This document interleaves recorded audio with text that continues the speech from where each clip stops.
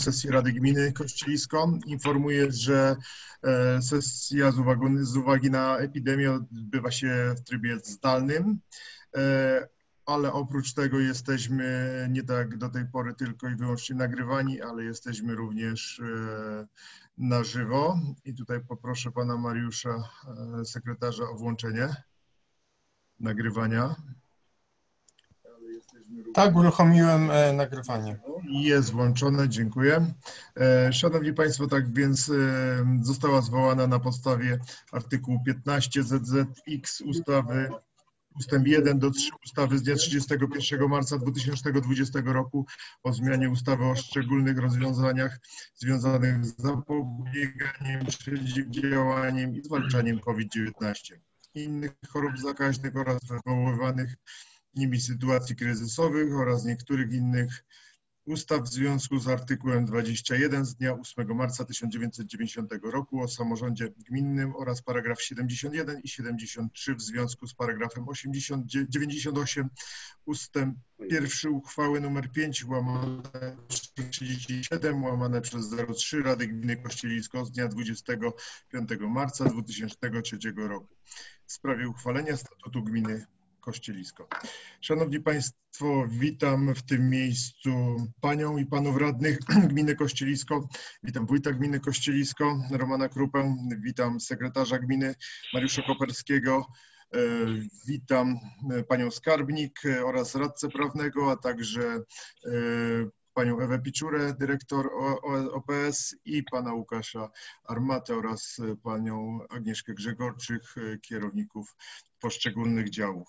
Szanowni Państwo, nim przejdę do stwierdzenia kworum, zaznaczę tylko na liście obecności, kto jest.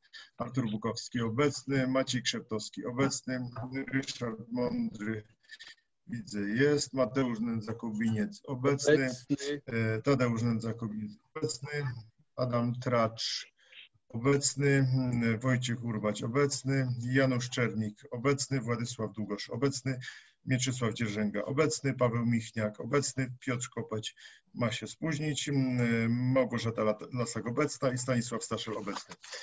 Stwierdzam e, zatem, że na 14 radnych gminy Kościelisko zdalnie połączyło się ze mną urządzeniem multimedialnym na chwilę obecną 13 radnych, co stanowi kworum, przy którym Rada Gminy może podejmować prawomocne uchwały. Szanowni Państwo, otrzymaliście następujący porządek obrad. Punkt pierwszy, otwarcie sesji, powitanie gości, stwierdzenie kworum, przyjęcie porządku obrad. Punkt drugi, przyjęcie protokołu z 16 sesji Rady Gminy Kościelisko. Punkt trzeci, sprawozdanie wójta z działalności międzysesyjnej. Punkt czwarty, interpelacje i zapytania radnych. Punkt piąty, podjęcie uchwały w sprawie przyjęcia programu wspierania rodziny na lata 2020-2022.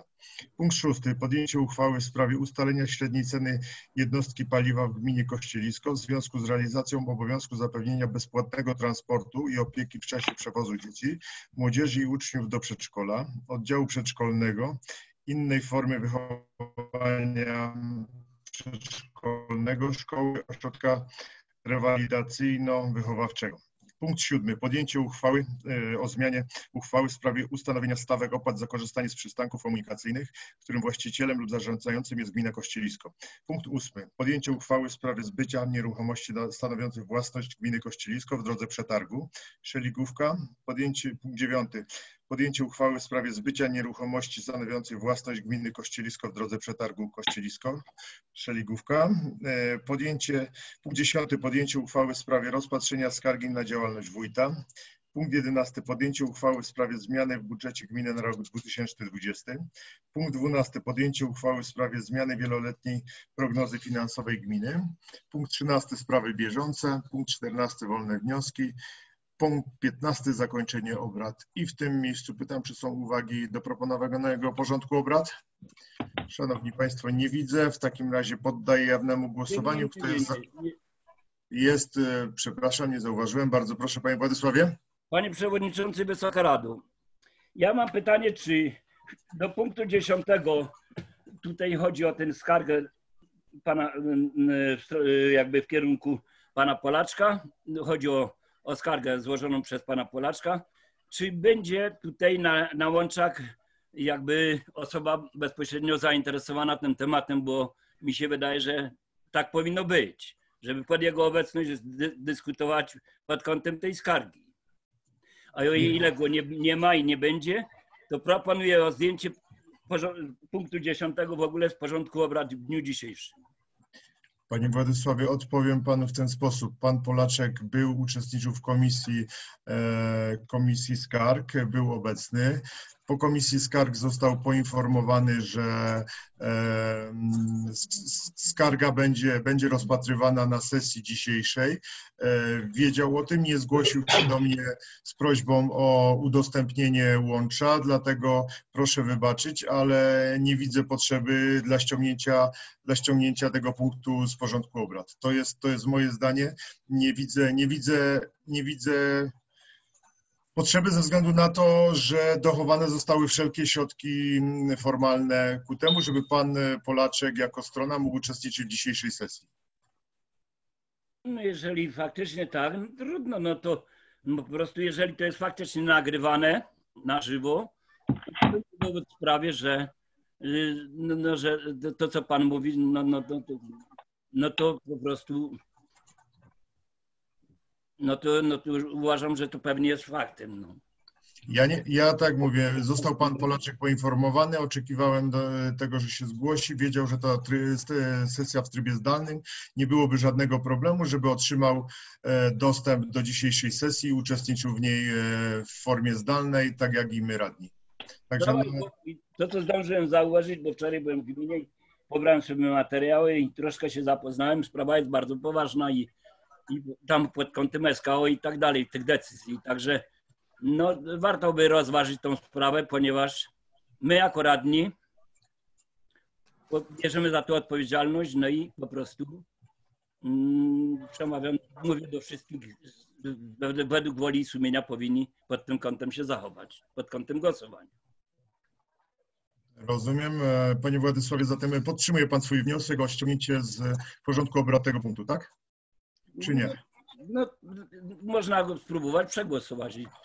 Okej, nie widzę problemu. W takim razie, szanowni państwo, czy ktoś jeszcze w tej sprawie? Bardzo proszę, radny Paweł Michniak.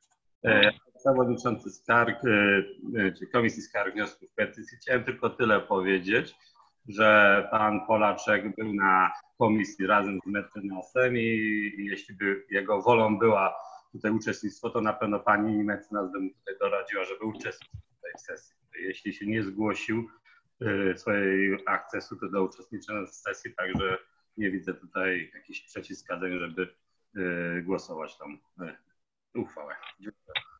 To znaczy, pan Polaczek, zrozumiałem, że mm, reprezentuje go jakaś pani mecenas.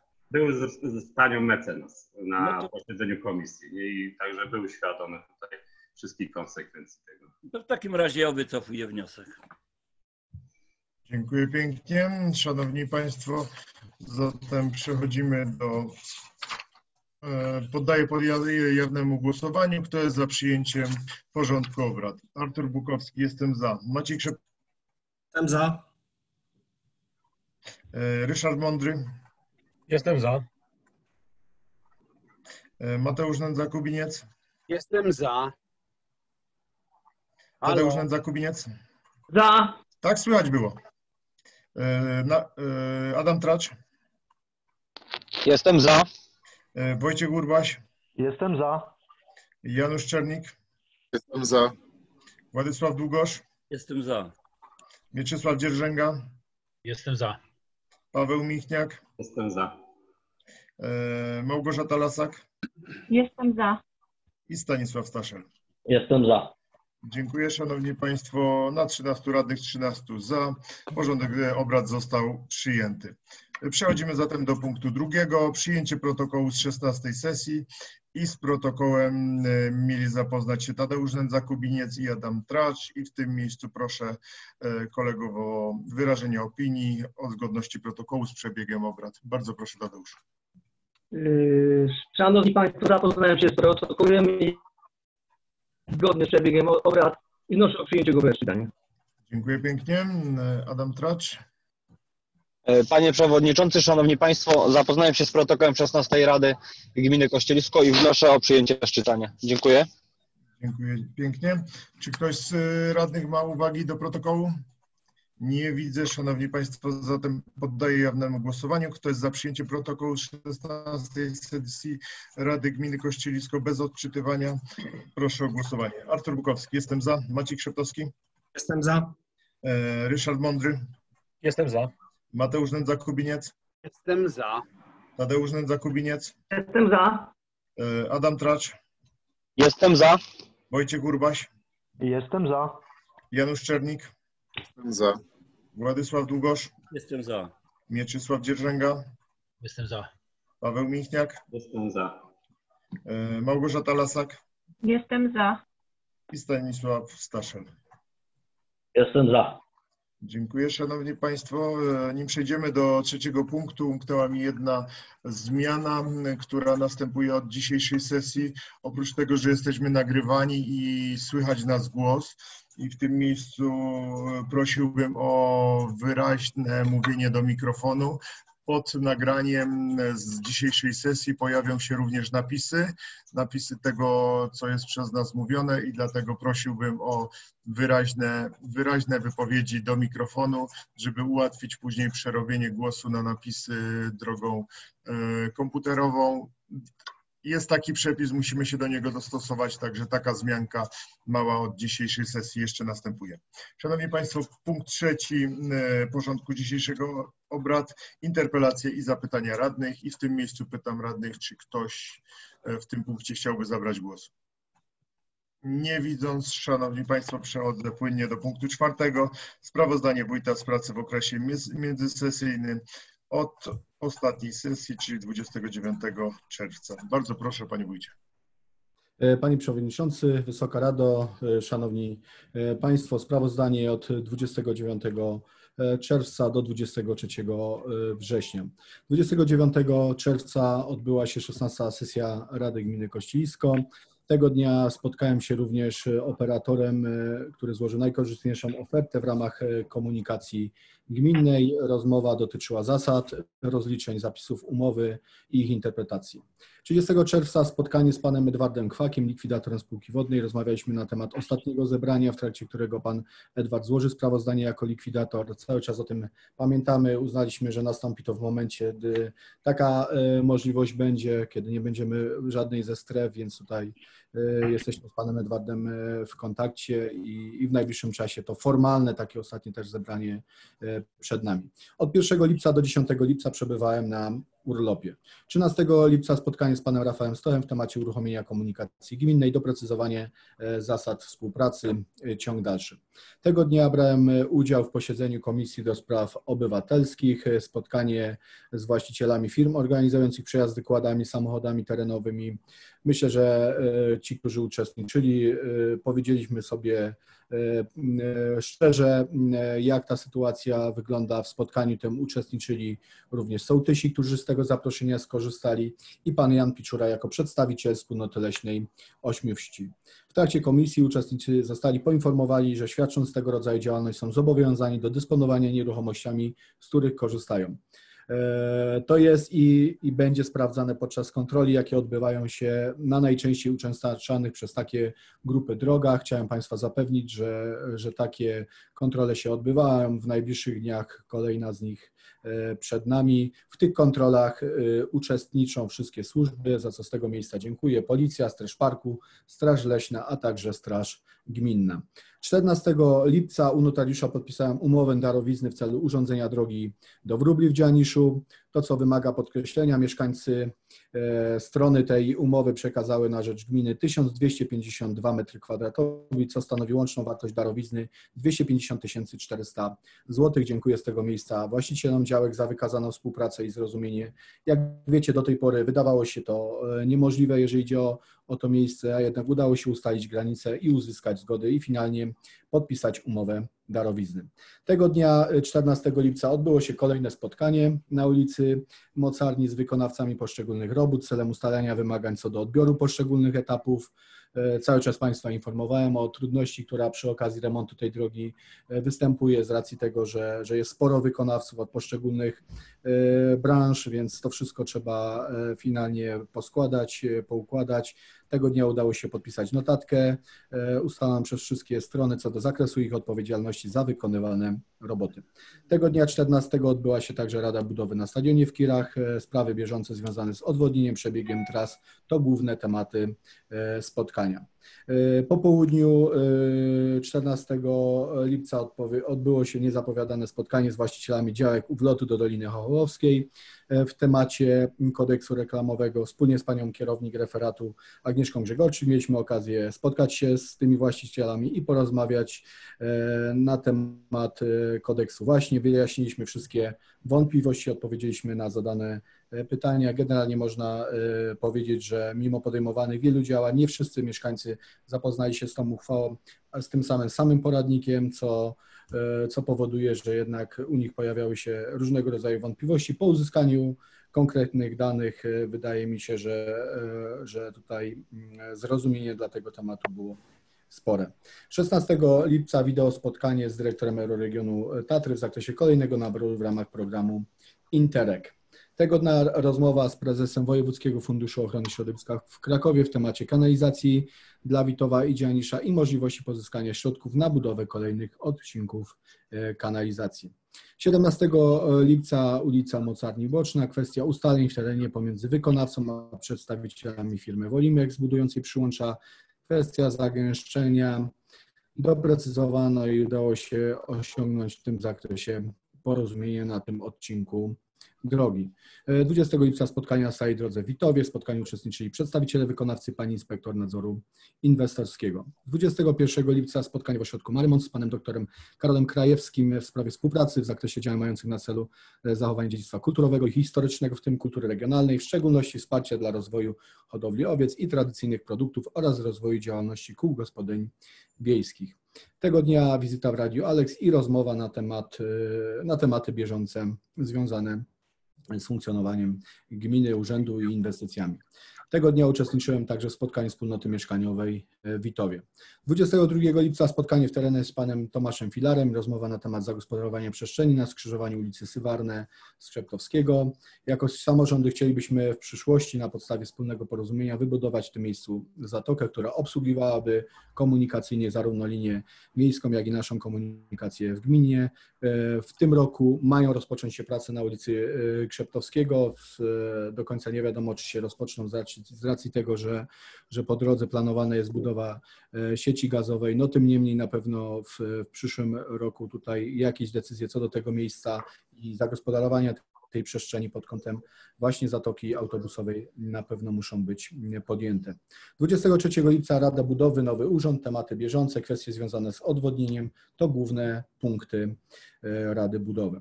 24 lipca spotkanie z księdzem proboszczem parafii Witowie w temacie gospodarki odpadami, spotkanie poświęcone wypracowaniu rozwiązania dotyczącego rozliczeń za odpady pochodzące e, z cmentarzu. E, Tego dnia, e, 24 lipca, odebrałem promosę na kwotę 61 710 zł. Otrzymaliśmy dofinansowanie z programu Małopolska Infrastruktura rekreacyjno-sportowa. Środki zostaną przeznaczone na rewitalizację ogólnodostępnego boiska sportowego przy szkole w Dzianiszu. Cała wartość dla tego zadania to 99 568 zł 50 groszy. 24 lipca tego dnia po spotkaniu e, związanym z właśnie z wręczeniem promes uczestniczyłem w posiedzeniu Komisji Kultury, które odbyło się w nowo wyremontowanym wnętrzu Domu Ludowego. Dla całego zarządu na ręce pana prezesa podziękowanie i wyraz uznania. Myślę, że wszyscy uczestnicy byli pod dużym wrażeniem nowego wnętrza e, lodówki. 27 lipca spotkanie z przewodnikiem panem Rafałem Stochem celem rozmowy na temat rozliczeń i pojawiających się pytań odnośnie funkcjonowania linii. Tego dnia udział w posiedzeniu Komisji do Spraw Obywatelskich. 28 lipca tego dnia odbył się konkurs na dyrektora zespołu szkolno-przedszkolnego w Kościelsku. W wyniku konkursu dyrektorem zespołu od 1 września została pani Ursula Stopka-Papież. Tego dnia udział w pogrzebie pana Mariana Źródła, pracownika referatu inwestycji. Dnia kolejnego, 29 lipca, odbył się kongres Związku Euroregion Tatry w formule online. 30 lipca spotkanie z nowo wybranym sołtysem i członkami Rady Sołeckiej z Kościska, w trakcie którego wręczyłem im zaświadczenia o wybiorze. Mieliśmy również okazję omówić aktualnie realizowane inwestycje na terenie sołectwa i inne kwestie bieżące. 31 lipca spotkanie z dyrektorem szkoły w Dzianiszu w tematach bieżących. Tego dnia spotkanie z projektantem przebudowy drogi gminnej na Salamancze. Yy, Przy okazji tego spotkania została przekazana dokumentacja dotycząca pierwszego etapu przebudowy tej drogi. Yy, 31 lipca spotkanie z dyrektorami szkoły i przedszkola w Kościelisku w temacie bieżących yy, spraw. 3 sierpnia wideo spotkanie z wójtem Czarnego Dunajca i przedstawicielami e, firmy X4U, którzy w drugiej połowie września, już można powiedzieć w ostatnią e, sobotę, na terenie naszych samorządów rozegrali, ro, e, zorganizowali za, zawody nartorolkowe. Wspomniałem Państwu o tym wydarzeniu na ostatnim posiedzeniu, na jednym z ostatnich posiedzeń Komisji Oświaty, Kultury i Sportu. 4 sierpnia wizyta w Dzianiszu na boisku. Tego dnia rozpoczęły się roboty związane z jego rewitalizacją. Po południu z kolei udział w posiedzeniu Komisji Planu. 5 sierpnia spotkanie z przedstawicielami Zarządu Dróg Wojewódzkich i rozmowa na temat e, robót w Witowie. O tym też Państwu, Państwa informowałem na e, posiedzeniu Komisji Ekonomiki, mówiłem też na zebraniu wiejskim w Witowie. Informacje pozyskane z, z tego wideo spotkania są takie, że rozpoczęcie robót mostowych planowane jest na przełom trzeciego i czwartego kwartału tego roku i będą one wykonywane w systemie połówkowym. Budowa zatok ze względu na toczące się postępowanie z RIT i zbliżającą się porę jesienną rozpoczną się na wiosnę 2021 roku i zakończenie wszystkich prac planowane jest do końca 2021 roku. 5 sierpnia spotkanie z przedstawicielami Podhalańskiej Lokalnej Grupy Działania, a także z wójtami z obszaru funkcjonowania grupy. Dobre spotkanie i rozmowa, w trakcie której omówiliśmy m.in. możliwości inwestycyjne na terenach gmin podhalańskich w ramach lokalnej grupy działania. Dnia następnego, 6 sierpnia w sali gimnastycznej Szkole Podstawowej Witowie odbyła się dyskusja publiczna nad przyjętymi w projekcie miejscowego planu rozwiązaniami dla środkowej części Polany Biały Potok 5. 6 sierpnia spotkanie z, z panem wójtem gminy Kobylica, z panem Leszkiem Kulińskim. W tym miejscu przesyłam pozdrowienia dla całej rady od pana wójta. 10 sierpnia przekazanie firmy PPDM placu budowy na odcinku od składu budowlanego do, do ZYH do szkoły.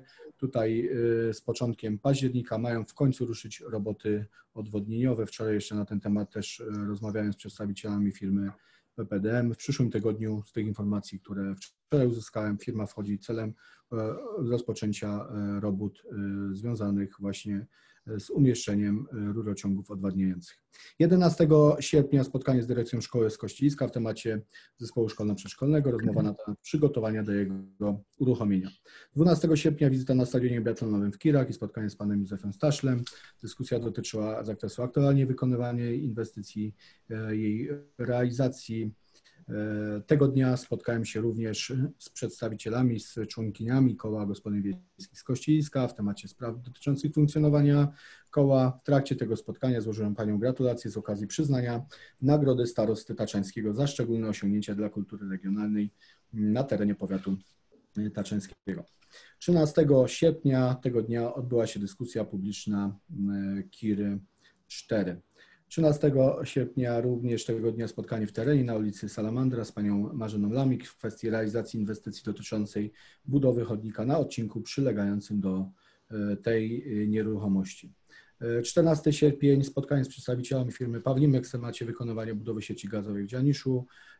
Kolejna ekipa, brygada tej firmy od tego dnia realizowała to zadanie celem jego przyspieszenia, no i też zakończenia w terminie planowanym, czyli do końca września. Tego dnia spotkanie z wykonawcą inspektorem nadzoru budowy sieci kanalizacji sanitarnej Witowe. I tutaj to też przekazywałem na zebraniu wiejskim. W Witowie kolektor główny w całości został wykonany. Ponad połowa zakładanych przyłączy jest wykonana. No i myślę, że tutaj w pierwszym tygodniu października cały zakres zadania zostanie wykonany. 15 sierpnia spotkanie z organizatorami Taczeńskiego Festiwalu Biegowego i zwycięzcami tych zawodów. Dokonaliśmy podsumowania festiwali i wyraziliśmy wolę dalszej współpracy i organizacji tej imprezy w przyszłym roku. 18 sierpnia spotkanie z panem Janem Pawlikowskim, kierownikiem oddziału nowotarskiego Polskiej Spółki Gazownictwa w temacie inwestycji realizowanej w Dzianiszu. Tego dnia spotkanie, odbyło się także spotkanie w temacie dokumentacji przy, przystankowej na dole Witowa. Tutaj po, zaraz po naszej komisji złożyliśmy wniosek celem uzyskania uzgodnienia na umieszczenie w pasie e, drogowym wiaty przystankowej. Z informacji, e, którą uzyskałem w poniedziałek do końca tego tygodnia, takie uzgodnienie powinniśmy e, uzyskać. 19 sierpnia wizyta w Radiu Alex i rozmowa w sprawach bieżących tego dnia udział w posiedzeniu Komisji Ekonomiki, w trakcie którego przedstawiona została informacja z wykonania budżetu gminy Kościsko w pierwszym półroczu 2020 roku, a także informacja na temat zaawansowania inwestycji gminnych. 20 e, sierpnia, dnia kolejnego, wizyta w Klikuszowej, spotkanie z zastępcą wójta gminy Nowy Targ, panem Marcinem Kolasą. Mieliśmy okazję wspólnie z panią skarbnik do zapoznania się z zakresem inwestycji, która została zrealizowana w ramach projektu e, Centrum e, Narciarstwa. Widzieliśmy trasy, budynek zaplecza.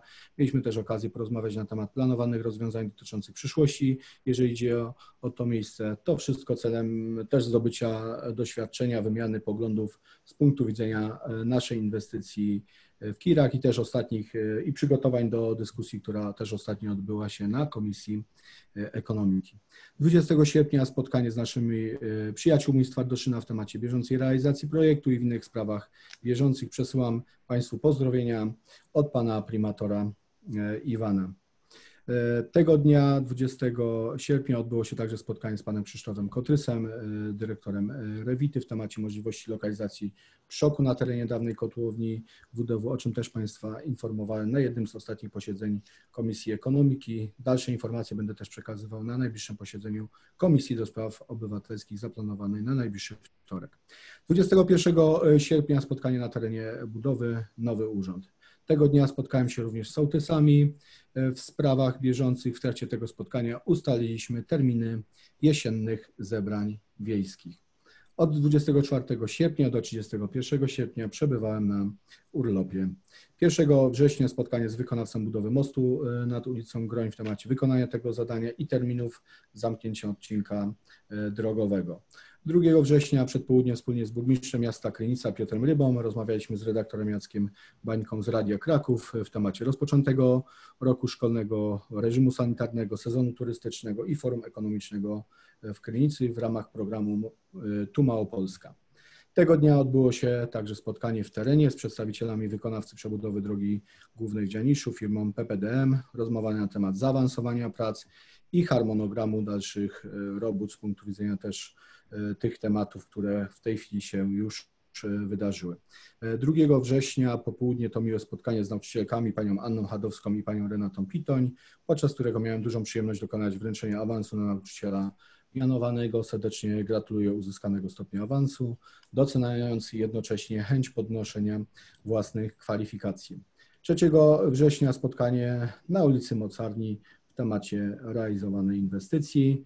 Tego dnia odbyłem również spotkanie z dyrektorami w sprawach bieżących, czyli kwestii rozpoczęcia już nowego roku szkolnego i temacie akcji edukacji na terenie gminy Kościsko i możliwości jej przeprowadzenia w samych szkołach. Wtedy sobie ustaliliśmy zasady, na jakich się to y, odbywało. 4 września dyskusja i rozmowa dotycząca aktualizacji aglomeracji wspólnie z przedstawicielami gminy Czarny Dunajec. 6 września odbyło się zebranie wiejskie w Witowie w temacie omówienia inwestycji sołeckich, Funduszu Sołeckiego. Przedstawione zostały także bieżące informacje na temat aktualnego stanu realizacji modernizacji ewidencji gruntów i budynków. Dziękuję wszystkim z tego miejsca za obecność. Dnia następnego, 7 września, spotkanie na Biatlonie w temacie realizacji inwestycji. Tego dnia y, późno wieczorem spotkałem się z radnymi i członkami Rady Sołeckiej w Dzianiszu w temacie zbliżającego się zebrania wiejskiego w tym sołectwie. Dnia następnego, 8 września, udział w nominacji generalskiej w Warszawie. Stopień nadbrygadiera Państwowej Straży Pożarnej otrzymał tego dnia generał Krzysztof Hejduk. Raz jeszcze z tego miejsca e, gratuluję. 9 września Rada Budowy dotycząca inwestycji w budynku Nowej Gminie, a także Rada Budowy dotycząca inwestycji na stadionie. E, po południu 9 września e, spotkanie z, z, dyrektorem Juraszkiem, wspólnie z innymi dyrektorami, tutaj przedstawicielami też przedszkoli. Mieliśmy okazję E, spotkać się z panem dyrektorem i podziękować mu za lata pracy na stanowisku e, dyrektora. 10 września udział w zwyczajnym zgromadzeniu wspólników spółki SEWIK. Zebranie kontynuowane było dnia e, 16 września. Tematem posiedzenia było rozpatrzenie sprawozdań finansowych i działalności spółki za 2019 rok, omówienie planu finansowego e, na ten 2020 rok, jak i wybór członków Rady Nadzorczej. E, Nasza przedstawicielka zasi- zasiadająca z ramienia gminy y, Kościsko w Radzie Nadzorczej, pani Dora Kierpacz, została wybrana wiceprzewodniczącą Rady Nadzorczej. 11 września spotkanie z wykonawcą sieci gazowej w Dzianiszu. 13 września zebranie wiejskie w Dzianiszu, w trakcie którego miałem okazję omówić inwestycje realizowane na terenie sołectwa. Z kolei przedstawiciel Polskiej Spółki Gazownictwa odpowiedział na pojawiające się pytania co do budowy sieci w ramach realizowanej inwestycji. 14 września samego rana wizyta w Wojewódzkim Funduszu Ochrony Środowiska, gdzie z panią skarbnik podpisaliśmy umowę pożyczki na budowę kanalizacji e, Witowy. 15 września spotkanie z generałem Krzysztofem Hejdukiem w temacie zmian w ustawy o ochronie e, cywilnej i ustawy dotyczących ochotniczych straży pożarnej. Omówiliśmy również możliwości pozyskania środków na realizację potrzeb, o jakich myślą członkowie ochotniczych straży pożarnych z terenu naszej gminy. 16 września udział w zwyczajnym zgromadzeniu wspólników spółki SEWIK, tak jak Państwa y, informowałem wcześniej, tego dnia odbyło się dokończenie y, posiedzenia. Y, Również w tym dniu udział w posiedzeniu Komisji Ekonomiki, posiedzenie wyjazdowe, wizyta na biatlonie, zapoznanie się z zakresem realizowanych robót. Rozmawialiśmy również na temat przyszłości tego miejsca z punktu widzenia kolejnych inwestycji i zarządzania samym obiektem. W posiedzeniu Komisji Rady uczestniczył pan Jan Piczu, radny Sejmiku Województwa Małopolskiego i pan Józef Staszel. 18 września 2020 roku spotkanie w Warszawie w Narodowym Instytucie Kultury i Dziedzictwa Wsi w temacie Jagnięciny Podhalańskiej. W instytucie tym pojawił się pomysł, aby nasz samorząd był samorządem w ramach pilotażowego projektu dotyczącego promocji podhalańskiej jagnięciny jako formy góralskiej tradycji i folkloru. W tym zakresie mowa była o możliwościach promocji lokalnej ogólnopolskiej na temat przygotowania szlaku restauracyjnego w gminie Kościsko dla regionalnych produktów z jagnięciny, a także utworzenia Centrum Jagnięciny Podhalańskiej oraz organizacji i nagłośnienia konferencji, jaka planowana jest na końcówkę października tego roku. Na najbliższym posiedzeniu Komisji Kultury będę chciał Państwu ten temat przybliżyć i wspólnie z Państwem go przedyskutować. 19 września przed południem udział w otwarciu e, zawodów, e, sobotnich zawodów April Zachodniego Podhala, bieg na naturlokach, jaki odbył się na terenie dwóch e, gmin, gminy Czarny Dunajec i gminy Kościelisko. W zawodach wystartowało prawie 80 zawodników. Podziękowania dla wszystkich organizatorów, osób zaangażowanych i strażaków. Dziękuję zwłaszcza e, naszym jednostkom e, za pomoc, zarówno z tym ze strony gminy Czarny Dunajec, ale w szczególności, tak jak powiedziałem wcześniej, m, z naszej gminy. Bez ich udziału, bez ich zaangażowania te zawody e, z pewnością by się e, nie odbyły. Tego dnia po południe to spotkanie w ramach prezentacji książki Strażacy Taczeńskiej Ziemi, przedstawiającej historię pożarnictwa naszego powiatu w oparciu o działalność 27 jednostek. Piękna pamiątka, zapiski, fotografie, dokumentacje. Myślę, że w najbliższym czasie Państwo też z tą pozycją będą mieli się okazję e, zapoznać. Dnia następnego, 20 września, zebranie wiejskie w Kościlisku, inwestycje, remonty, fundusz sołecki to tematy spotkania. Przedstawiciel Polskiej Spółki Gazownictwa, który też tego dnia brał udział w, w zebraniu, odpowiedział na pojawiające się pytania co do budowy sieci w ramach realizowanej inwestycji na terenie sołectwa Kościelisko. Dnia następnego, 21 września, spotkanie z księdzem proboszczym parafii Kościelisko w sprawach bieżących. 22 września udział w posiedzeniu Komisji Oświaty, Kultury i Sportu, a w dniu wczorajszym udział w zebraniu walno-sprawozdawczym lokalnej organizacji turystycznej e, gminy Kościelisko. Mm, Teraz poinformuję Państwa o y, podpisanych umowach, zleceniach, robytych przetargach w trakcie e, okresu międzysesyjnego. O tych oczywiście e, najważniejszych w sumie w okresie międzysesyjnym odbyło się 34 przetargi i odbyły się 34 przetargi i zapytania.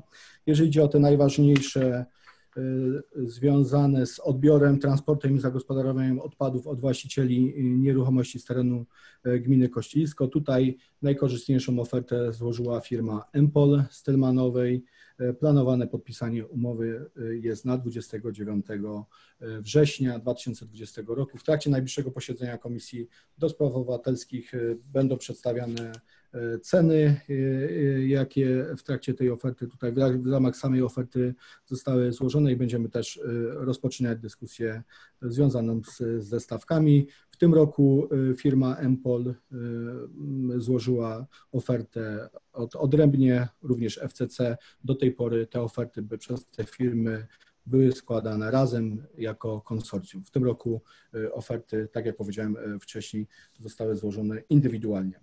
E, Mamy też rozstrzygnięcia w zakresie zimowego utrzymania dróg na terenie sołectwa Kościeliska i sołectwa Dzianisz i Witów. Jeżeli idzie o sołectwo tutaj Kościelisko, wpłynęły w trakcie rozstrzygania dwie oferty. Cenę, jeżeli idzie o najkorzystniejszą ofertę, złożyła e, przedsiębiorstwo wielobranżowe Krzysztof Stachoń z Zakopanego. I tutaj Państwu e, powiem, tutaj 373, e, już żebym tutaj nic nie pomylił, za odśnieżanie i posypywanie jest cena e, 3700, jeżeli idzie o m, za posypywanie 3100. W jednym sezonie było to ceny odpowiednio 3800 i 3200, więc tutaj oferta najkorzystniejsza złożona została, tak jak powiedziałem, przez przedsiębiorstwo wielobranżowe Stachoń, Krzysztof Stachoń e, z Zakopanego, jeżeli idzie o Kościelisko. Jeżeli idzie o Witów i Dzianisz, tutaj była jedna oferta, jesteśmy w trakcie też rozstrzygania y, za odśnieżanie posypywanie 2808 zł, za samo posypywanie 2322 zł i tutaj oferta była jedna, Transkop jesteśmy w stanie, jesteśmy w trakcie rozstrzygania. Z pozostałych kwestii y, zabezpieczenie drogi do Malców. Tutaj mamy oferty y, składane są do 29 września. Y, Awaryjne zabezpieczenie fragmentu korpusu drogi Witowiew, Przysiółek, Rostoki do 30 września. Y, Czekamy na oferty, jeżeli idzie o te y, zadania. Bardzo dziękuję całemu zespołowi za pracę w okresie międzysesyjnym. To wszystko, Szanowni Państwo, co miałem w tym punkcie Państwu do powiedzenia. Dziękuję Panie Przewodniczący.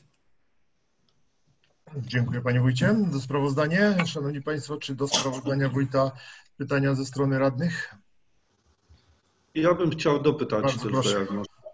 Y, Panie Wójcie, bo wiemy, że, że został ponad miesiąc temu złożony projekt y, budynku wielofunkcyjnego w Witowie. Czy, czy coś wiemy, czy jest już pozwolenie, czy y, można uznać, że ten dokument jest ważny?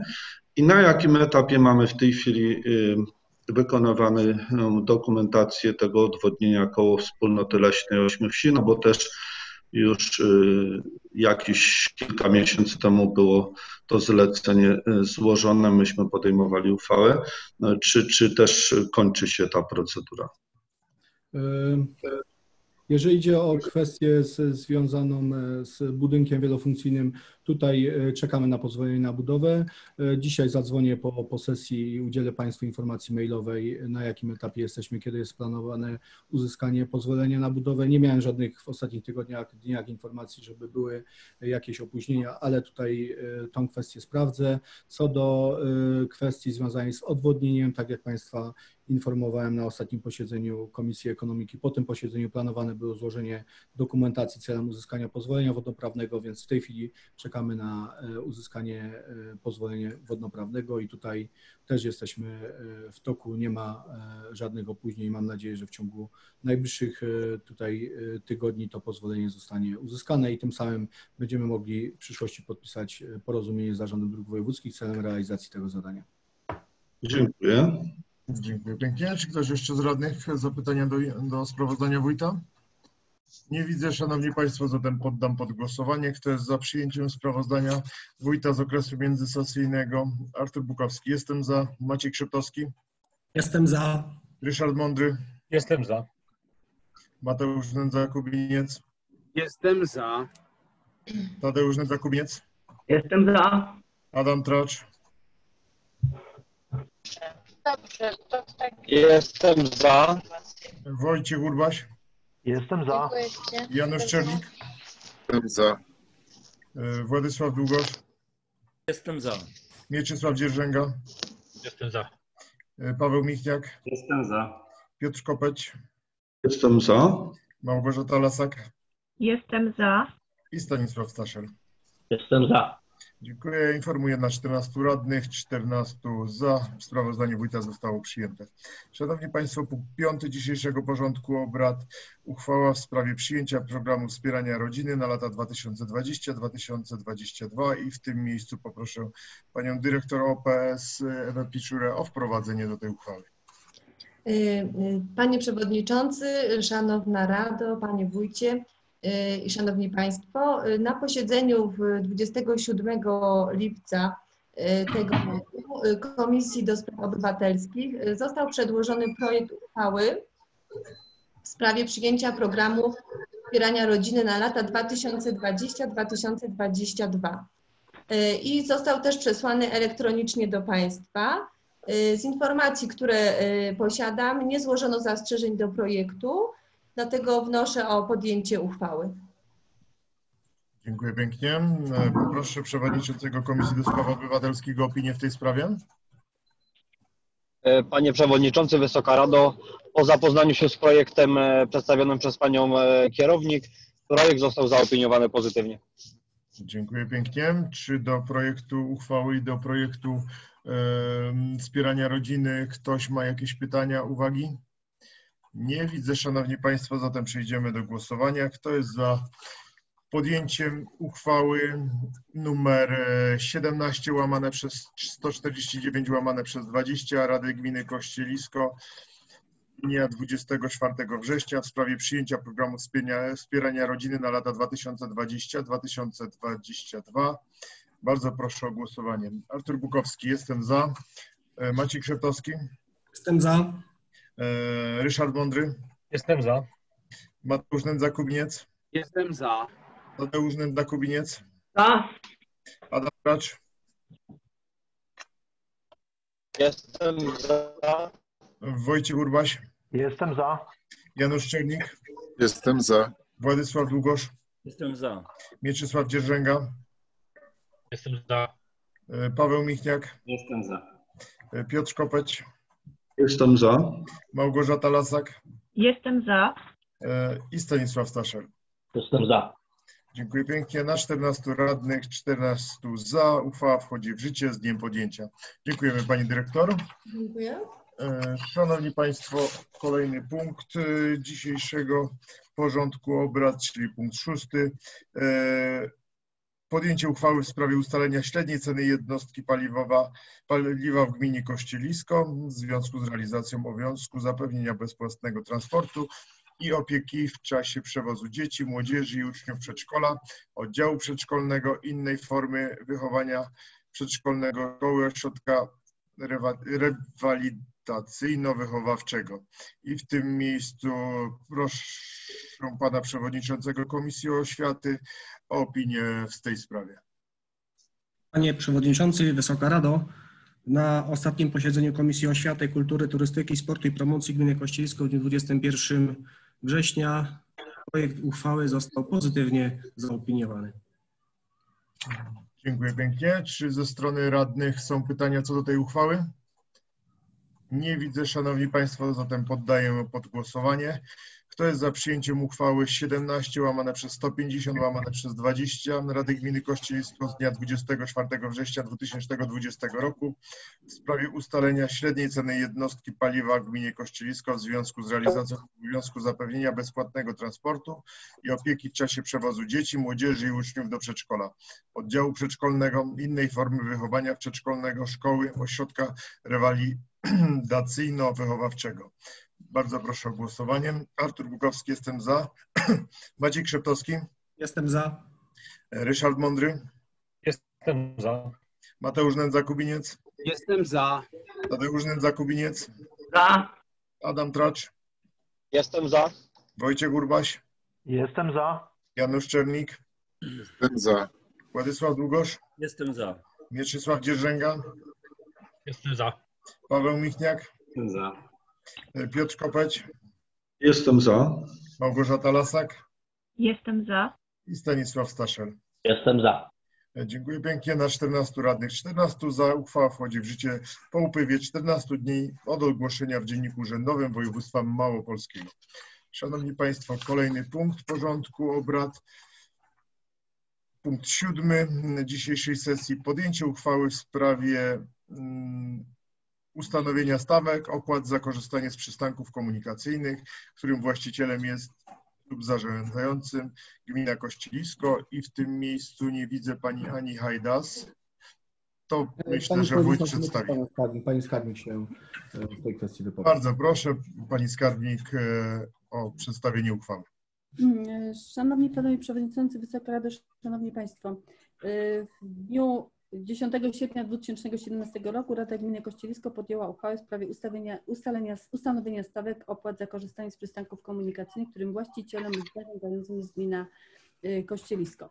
Y, Od 20 lipca bieżącego roku y, gmina Kościelisko zorganizowała we własnym zakresie publiczny transport zbiorowy i w, do chwili, na chwilę obecną operator, który przewozi osoby w ramach publicznego transportu zbiorowego, płaci gminie y, opłaty za korzystanie z przystanków, aby nie następowało przelewanie z, z konta dochodów na konta wydatków, bo z drugiej strony gmina Kościelisko y, rekom, y, płaci rekompensaty z tytułu utraty, z- tytułu większych kosztów utrzymania linii w zakresie zbiorowego transportu publicznego. Prośba jest do Wysokiej Rady o podjęcie uchwały w sprawie y, dotyczącej zwolnienia y, z opłat za korzystanie z przystanków operatora publicznego transportu zbiorowego, który zawarł z gminą Kościelisko jako organizatorem publicznego transportu zbiorowego o charakterze publicznym umowę o świadczenie usług w zakresie publicznego transportu y, zbiorowego. Aby właśnie nie następowało przelewanie środków z, z dochodów na wydatki i, i rekompensowanie tych y, wydatków y, operatorowi, zwracamy się do Wysokiej Rady o podjęcie tej uchwały. Dziękuję bardzo. Dziękuję pani skarbnik i w tym miejscu poproszę przewodniczącego Komisji Ekonomiki o opinię w tej sprawie. Na ostatnim posiedzeniu komisji w dniu 16 września, po wysłuchaniu argumentów pani skarbnik, radni jednogłośnie zaopiniowali pozytywnie przedstawiony projekt uchwały. Dziękuję pięknie. Czy ktoś z radnych w sprawie tej uchwały? Nie widzę, szanowni państwo, zatem poddaję ją pod głosowanie. Kto jest za przyjęciem uchwały numer 17 łamane przez 151 łamane przez 20 Rady Gminy Kościelisko z dnia 24 września 2020 roku o zmianie uchwały w sprawie ustanowienia stawek opłat za korzystanie z przystanków komunikacyjnych, których właścicielem lub zarządzającym jest gmina Kościelisko. Artur Bukowski, jestem za. Maciej Krzeptowski. Za. E, Ryszard Mądry. Jestem za. E, Mateusz Nędza-Kubiniec. Jestem za. Tadeusz Nędza-Kubiniec. Jestem za. E, Adam Tracz. Jestem za. Wojciech Urbaś. Jestem za. Janusz Czernik. Jestem za. Władysław Długosz. Jestem za. Mieczysław Dzierżęga. Jestem za. Paweł Michniak. Jestem za. Piotr Kopeć. Jestem za. Małgorzata Lasak. Jestem za. I Stanisław Staszel. Jestem za. Dziękuję. Na 14 radnych 14 za. Uchwała wchodzi w życie po upływie 14 dni od ogłoszenia w Dzienniku Urzędowym Województwa Małopolskiego. Szanowni Państwo, punkt ósmy dzisiejszego porządku obrad. Podjęcie uchwały w sprawie zbycia nieruchomości stanowiącej własność gminy w drodze przetargu. I tu jest jedna z dwóch uchwał dotycząca szeligówki. I w tym miejscu poproszę pana geodetę Łukasza e, Armatę o przedstawienie e, poszczególnych uchwał i poszczególnych e, działek, jak one zostały podzielone i będą wystawione w drodze przetargu do sprzedaży. Bardzo proszę, panie Łukaszu. Dziękuję. Panowie Przewodniczący, Wysoka Rado, Panie Wójcie, Szanowni Państwo. Proszę Wysoką Radę o wyrażenie zgody na przeznaczenie do sprzedaży w drodze przetargu nieruchomość stanowiącą własność gminy Kościelisko. Jedno jest pewne, musisz być szybki jak błysk. Przepraszam, coś mi się tu... Nierucho- Nieruchomość będącą włas... stanowiącą własność gminy Kościelisko położoną w Kościelisku przy ulicy Szeligówka, oznaczoną jako działka ewidencyjna numer 4664 przez 1 o powierzchni 0,1102 hektara oraz udział e, w wysokości 1 drugiej części w działce numer 4664 przez 3 o powierzchni 0,0185 hektara, będącej drogą dojazdową.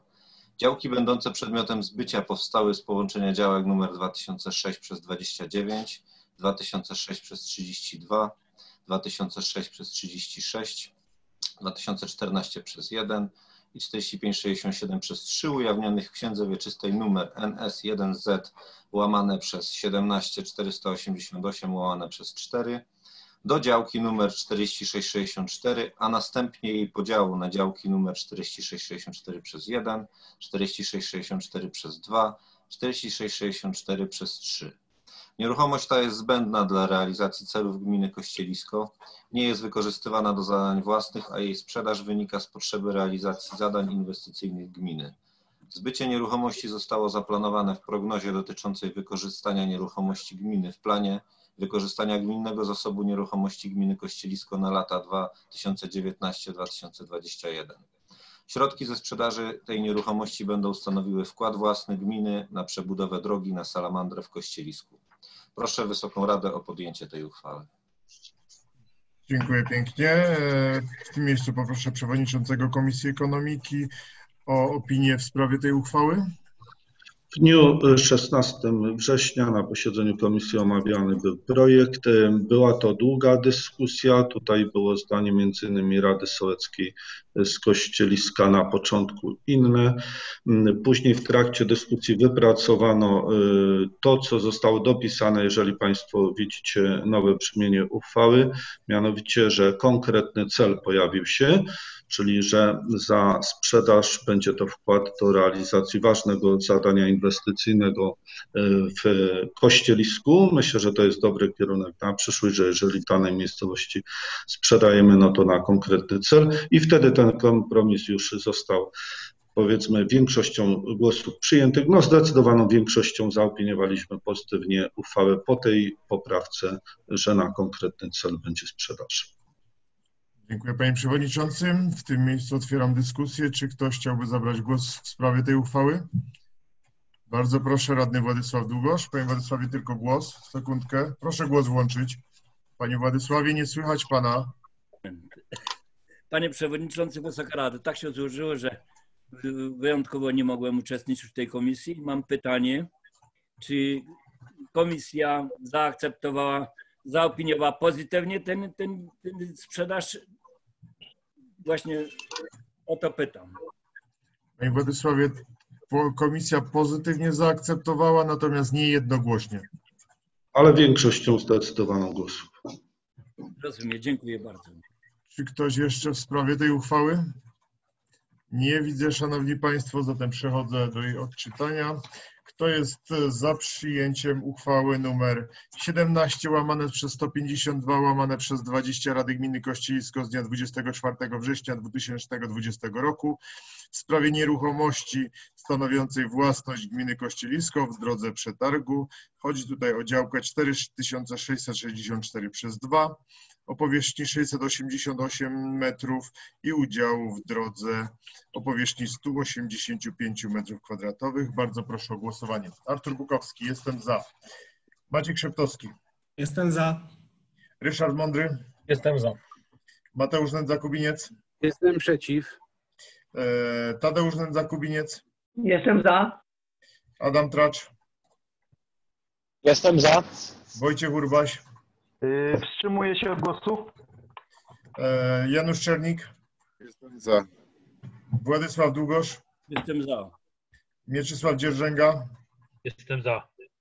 Paweł Michniak. Za. Piotr Kopeć. Jestem za. Małgorzata Lasak. Jestem za. i Stanisław Staszel. Jestem za. Dziękuję pięknie. Informuję, że na 14 radnych 12 za, jeden wstrzymujący, jeden przeciw. Uchwała wchodzi w życie z dniem podjęcia. Szanowni Państwo, kolejny punkt to podobna uchwała, tylko druga część e, tej nieruchomości e, i nie wiem, czy w tym miejscu potrzebujemy wytłumaczenia tej uchwały przez pana Łukasza. E, Ewentualnie proszę o krótkie wprowadzenie. Panowie Przewodniczący, Wysoka Rado, Panie Wójcie, Szanowni Państwo, tak jak Pan napomknął, e, jest to, jest to druga część nieruchomości, e, którą dzielimy, więc w, zasadzie wszystko E, To samo, co przeczytałem przy okazji poprzedniej uchwały. Jedyna różnica jest taka, że powierzchnia działki jest większa, bo to jest 1102 metry kwadratowe. Udział w drodze jest ten sam. E, Także jeżeli jest potrzeba, no to przed, przedstawię, ale to są wszystkie te same informacje, co poprzednio. Pięknie. W tym miejscu też poproszę przed, e, przewodniczącego Komisji Ekonomiki o opinię w sprawie tej uchwały. Wysoka Rado, tutaj sytuacja była analogiczna. Dopisano do treści uchwały to, aby celem sprzedaży była e, inwestycja w Kościelisku e, przy realizacji drogi gminnej. No i wtedy e, większość radnych, podobnie jak w przypadku pierwszej działki, zagłosowała pozytywnie za projektem uchwały. Dziękuję pięknie. Czy do uchwały są pytania, albo ewentualnie ktoś chciałby zabrać głos? Nie widzę, Szanowni Państwo, zatem przechodzę do odczytania. Kto jest za podjęciem uchwały nr 17 łamane przez 132, 153 łamane przez 20 Rady Gminy Kościelisko z dnia 24 września 2020 roku w sprawie zbycia nieruchomości stanowiącej własność gminy Kościelisko w drodze przetargu. Chodzi tutaj o działkę na Szeligówce o powierzchni 1102 metry i udziale w drodze o powierzchni 185 metrów kwadratowych. E, Bardzo proszę o głosowanie. Artur Bukowski, jestem za. Maciej Krzeptowski. Jestem za. E, Ryszard Mądry.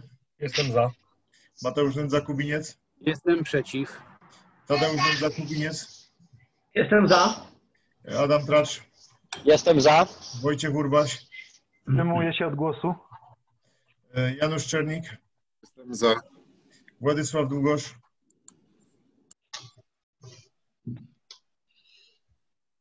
Panie, panie Władysławie, pan jest za, dobrze. Mieczysław Dzierżęga.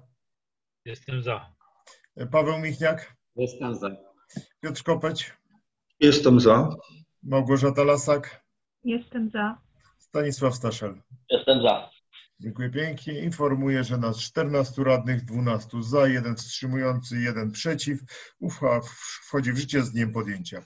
Szanowni Państwo, kolejny punkt y, dzisiejszego porządku obrad, punkt 10. Podjęcie uchwały w sprawie rozpatrzenia skargi na działalność wójta.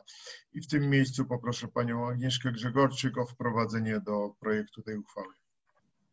E, Już.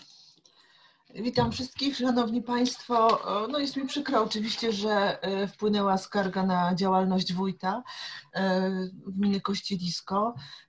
Dotyczy ona postępowania prowadzonego przeze mnie. Dotyczy e, wniosku o ustalenie warunków zabudowy na polanie e, Biały Potok e, w Witowie. Cała y, sk- skarga była szczegółowo analizowana w czasie posiedzenia komisji e, skargowej. Była również analizowana przez y, pana prawnika, ponieważ rzecz, przedmiot skargi nie jest e, jednoznaczny. Przepisy w tym względzie e, są e, nieprecyzyjne i my uznając wartości przyrodnicze i kulturowe Polany Biały Potok, stanęliśmy na stanowisku i oparliśmy się o wyrok Wojewódzkiego Sądu Administracyjnego, że występują tam gatunki roślin chronionych. Natomiast samorządowe kolegium odwoławcze, e, które badało zażalenie wnioskodawców na nasze m, postanowienie w tej e, kwestii, stanęło na stanowisku przeciwnym. Oni uznali, że badanie, czy występują rośliny chronione, ma się odbywać na etapie przed wydaniem pozwolenia na budowę, a nie na etapie warunków e, zabudowy. Tak jak mówię, jest to kwestia e, niesprecyzowana w e, przepisach, sporna. Myśmy się opierali o wyrok sądu mm, administracyjnego w Krakowie i takie, było, takie były nasze intencje. Całe postępowanie jest długotrwałe, to na pewno, ponieważ warunki zabudowy toczone są w oparciu o przepisy ustawy o planowaniu i zagospodarowaniu przestrzennym, która e, w przypadku, jeżeli e, sporządzany jest plan zagospodarowania przestrzennego pozwala na zawieszenie postępowania o ustalenie warunków zabudowy na 9 miesięcy i myśmy y, z tego y, uprawnienia y, skorzystali.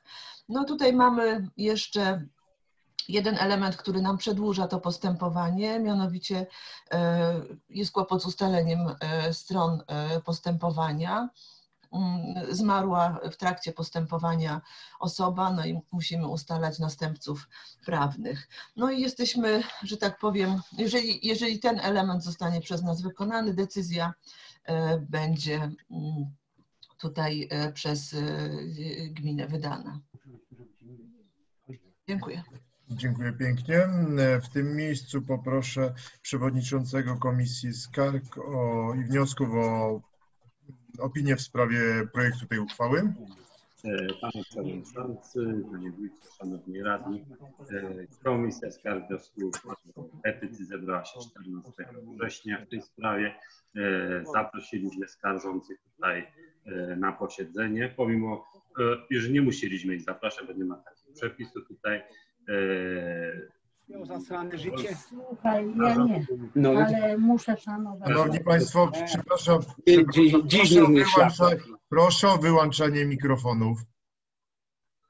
E, Skarżący nie skorzystali z tej y, y, możliwości, jednak wysłali tutaj na komisję dwóch pełnomocników. Jednym pełnomocnikiem okazał się syn, a drugim był pani mecenas. E, W toku dwugodzinnej dyskusji e, komisja stwierdziła, iż e, skarga jest bezzasadna. I taki wniosek tutaj przesyłamy do Rady Gminy. Dziękuję pięknie. E, W tym miejscu otwieram dyskusję. Czy ktoś chciałby zabrać głos? Bardzo proszę, radny Władysław Długosz. Panie Władysławie, mikrofon.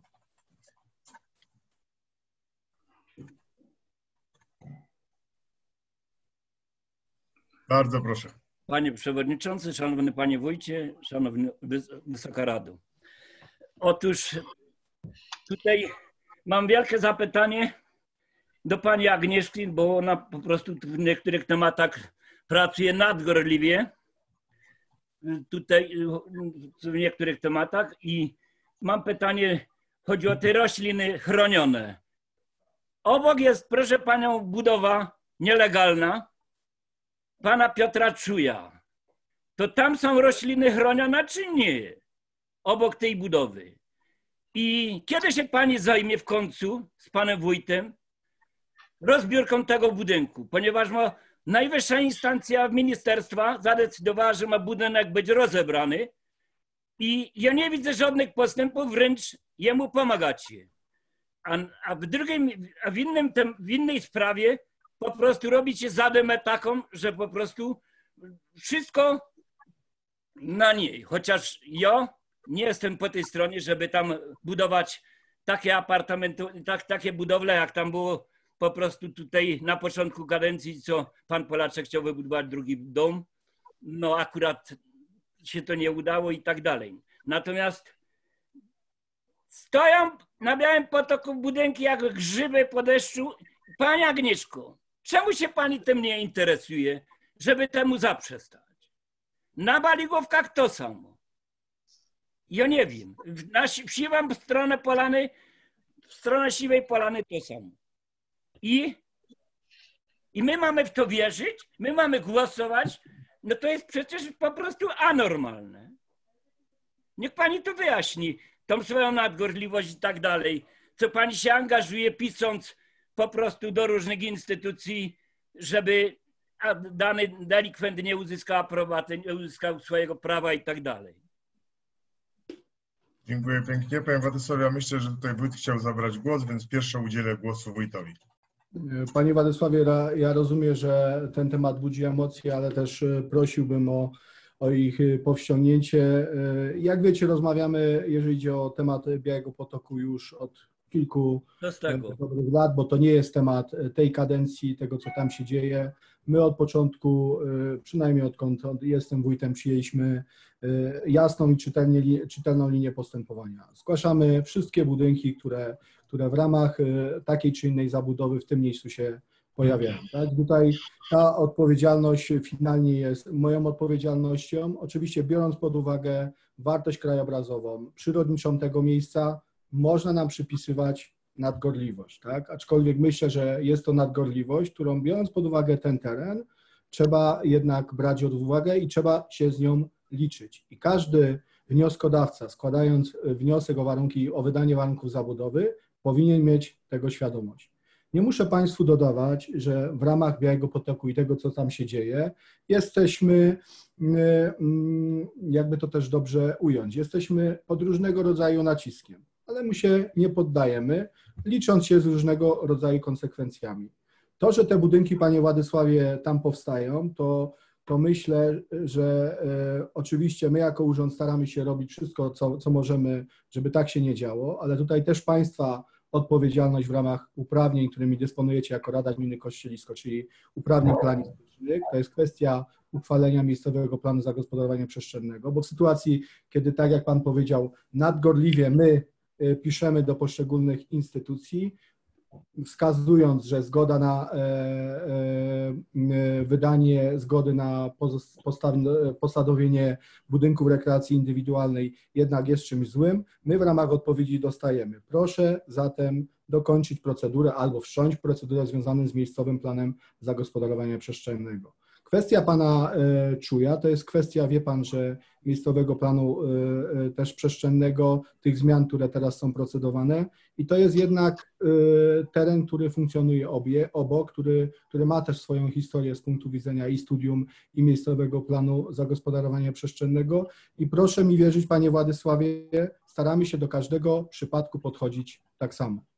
Ja przecież też będąc wcześniej radnym, znam tą historię, nikogo nie usprawiedliwiam, do każdego przypadku podchodzę e, e, poważnie. Tak samo robi to pani Agnieszka, narażając się przy tym na różnego rodzaju zarzuty i wnioski, skargi, które teraz się pojawiają. To jest teren atrakcyjny, który chciałby być skonsumowany w całości. My teraz przecież też w trakcie komisji, w trakcie dyskusji publicznej w samym Witowie dyskutowaliśmy na ten temat, jak z jednej strony zabezpieczyć go przyszłościowo, a z drugiej strony też dać tym właścicielom jakąś możliwość realizacji w przyszłości inwestycji.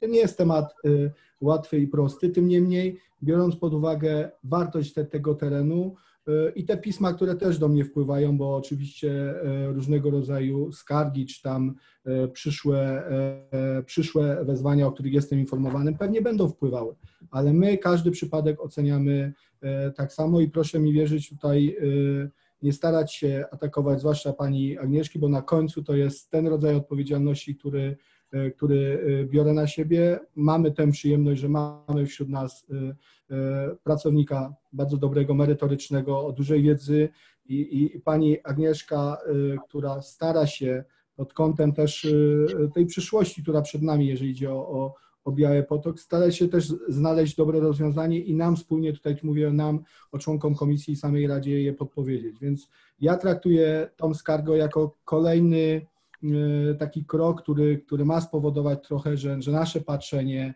e, będzie inne, być może je trochę e, zmiękczyć, mówiąc kolokwialnie, osłabić, ale tutaj ono musi być jednolite dla tego miejsca. Ja chciałbym i tutaj też oczekuję jednak, że w ciągu najbliższych tygodni, miesięcy ta kwestia w ramach miejscowego planu zagospodarowania przestrzennego będzie kwestią zamkniętą, tak żeby w przyszłości potem w ramach nowego studium otworzyć tą dyskusję e, i, i starać się rzeczywiście odpowiedzieć na te potrzeby, które e, się pojawiają. A procedura, Panie Władysławie, no, musi być dochowana, tym, nie, tym bardziej biorąc pod uwagę wartość e, tego, tego miejsca. Więc tutaj proszę te, tego nam nie zarzucać i proszę mi wierzyć, każdy przypadek jest przez nas, jeżeli idzie o to miejsce, traktowany e, tak samo.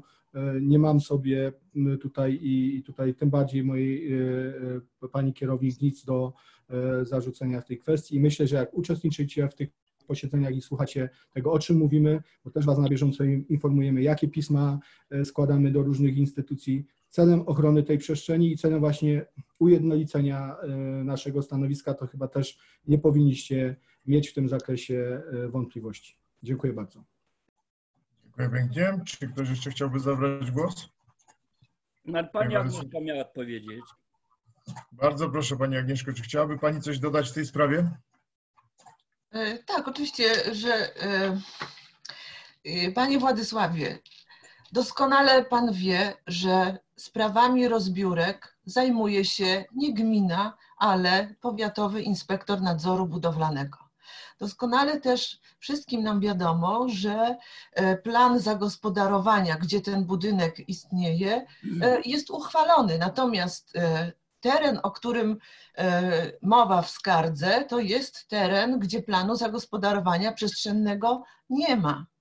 I przypominam również, że na komisji planu, w której brał Pan udział, pokazywaliśmy wszystkie obiekty, które powstały na terenie Polany Biały Potok. Wszystkie zostały zgłoszone do nadzoru budowlanego i do zarządu parków krajobrazowych, ponieważ e, od samego początku, od 2015 roku, odkąd została podjęta uchwała o przystąpieniu do sporządzania e, planu zagospodarowania przestrzennego dla Polany Biały Potok, mówimy o wartościach przyrodniczych i krajobrazowych i o ochronie tego terenu. Dlatego trudno e, e, jakby e, mieć inne stanowisko przy wydawaniu warunków zabudowy, a inne przy sporządzaniu planu zagospodarowania przestrzennego.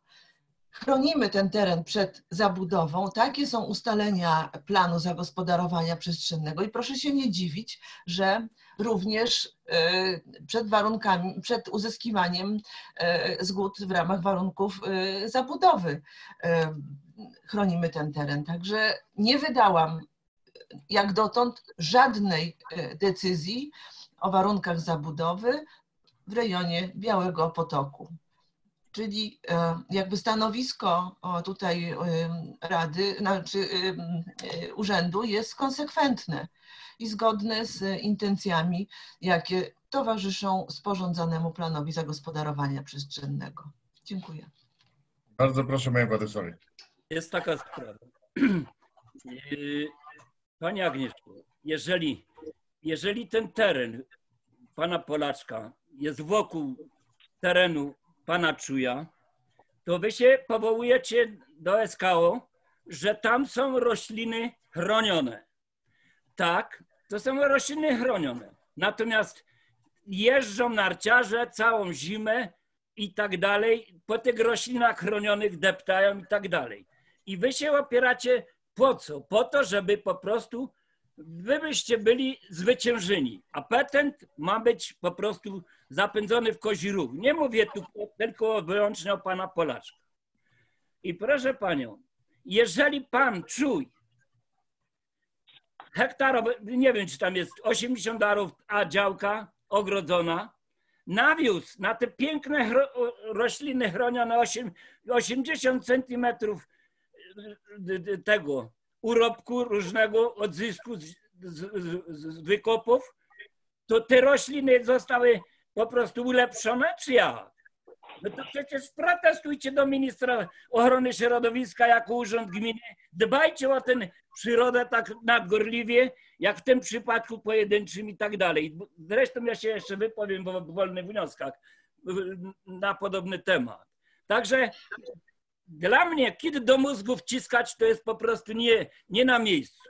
Nie na miejscu, bo po prostu to się w ogóle nie ma nijak.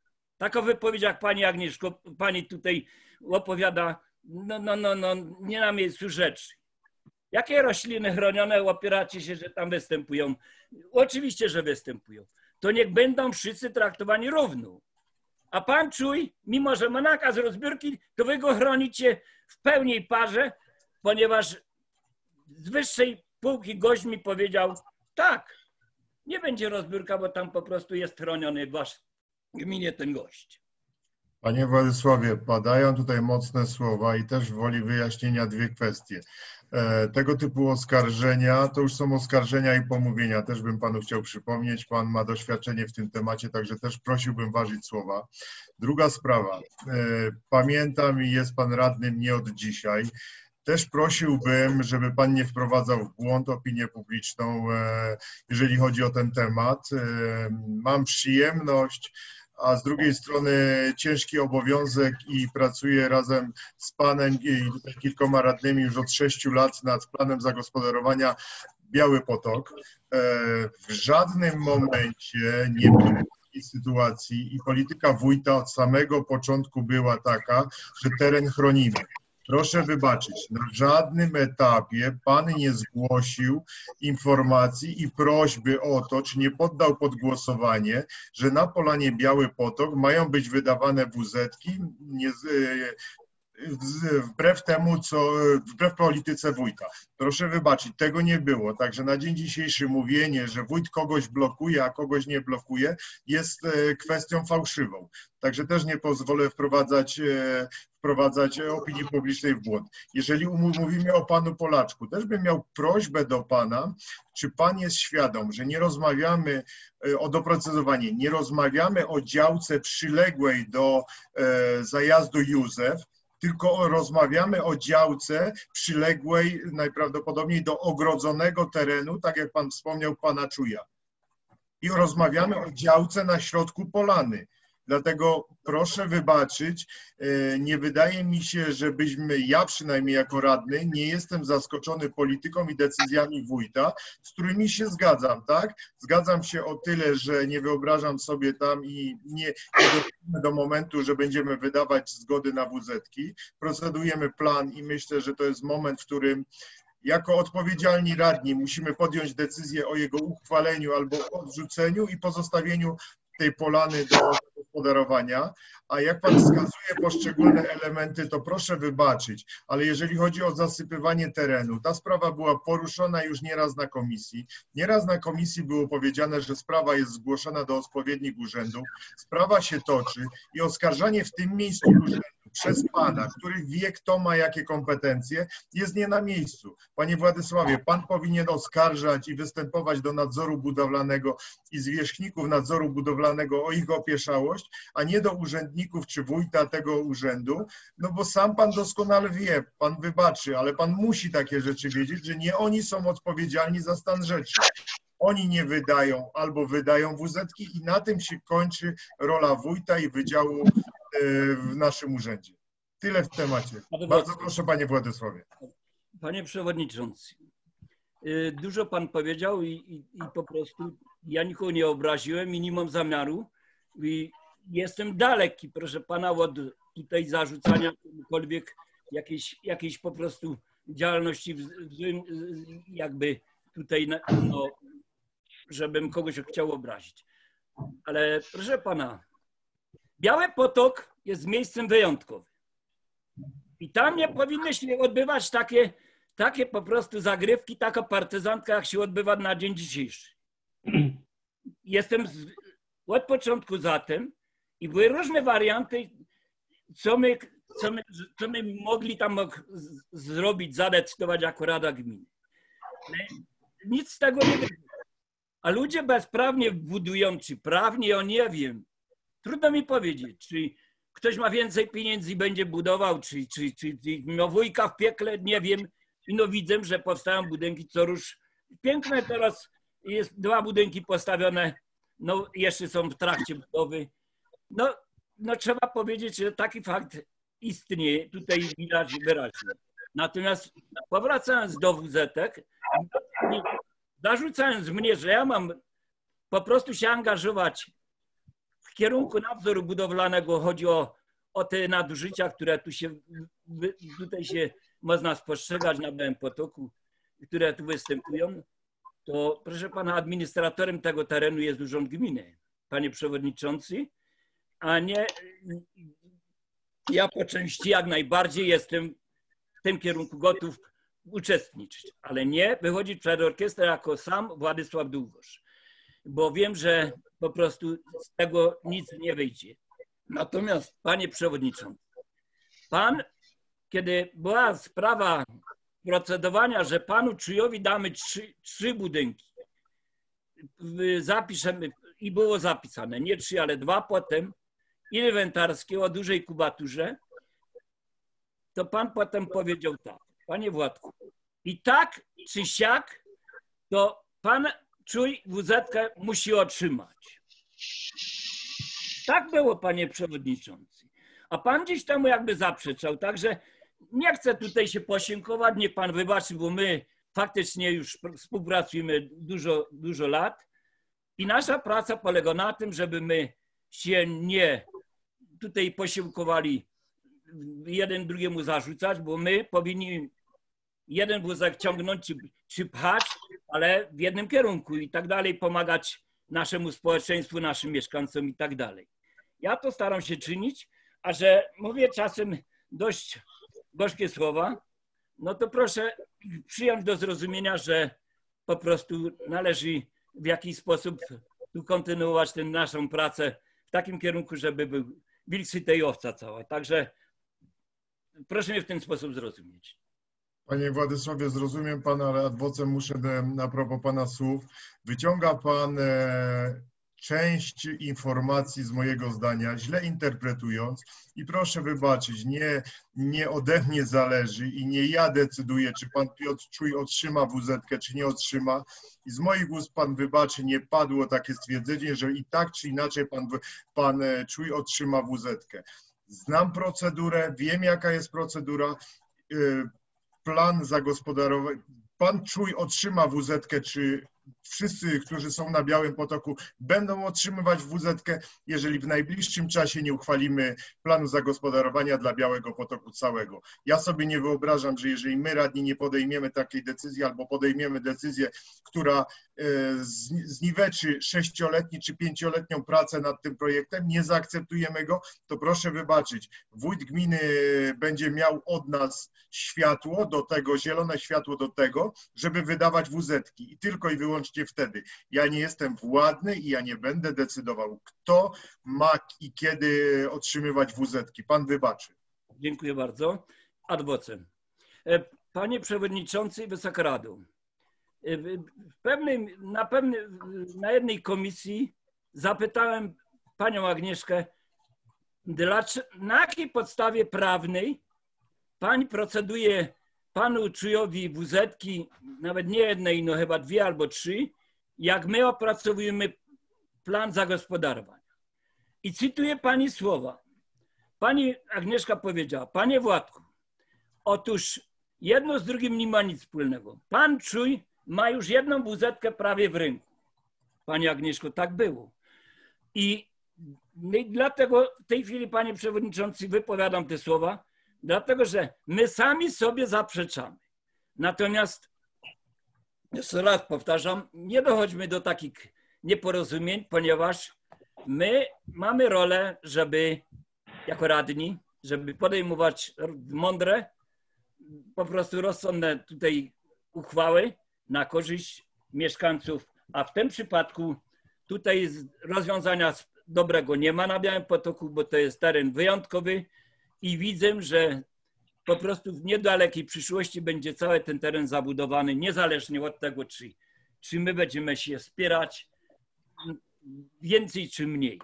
Jak z tego obserwuję, bo jadąc, to popatrzę po lewej i prawej stronie, na Baligówkach ile już fundamentów stoi? Ile? Na, na Białym Potoku już chyba z 10 albo więcej budynków powstaje, czy powstało już po części i tak dalej. No, nasz wysiłek jest bezsensowny jako Rady Gminy, ponieważ my to robimy nawet, no, nawet be- bez żadnego po prostu tutaj efektu, bo, bo my zanim skończymy plan, to za ten czas powstanie budynków chociaż jest teren wyjątkowy, zakazany i tak dalej.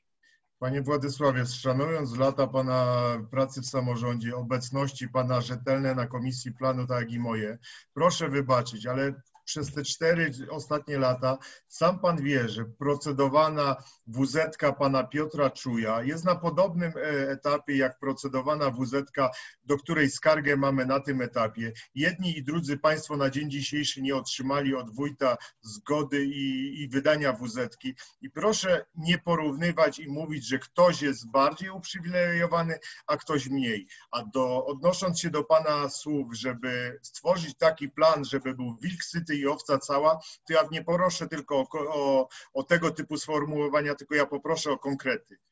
To ma być zawarte w planie, żeby wilk był syty i owca cała. Bo tak rozmawiając, to my rozmawiamy już od pięciu lat i jesteśmy tu, gdzie jesteśmy. Na końcu planu, w którym niestety, ale na dzień dzisiejszy nie będzie możliwości zagospodarowania tego terenu. I doskonale o tym wiemy.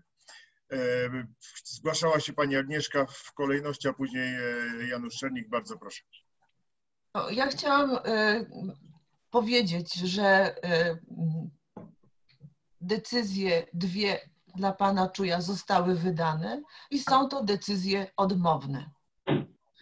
Aktualnie są e, rozpatrywane przez samorządowe kolegium odwoławcze w Nowym Sączu.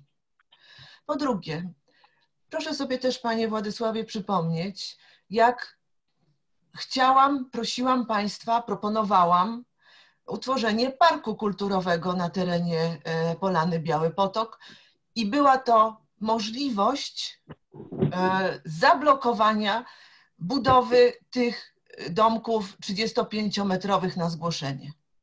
Po trzecie, proszę też e, przyjąć do wiadomości to, że te domki wszystkie, które powstają na zgłoszenie, przyjmowane są przez starostwo nie przez nas.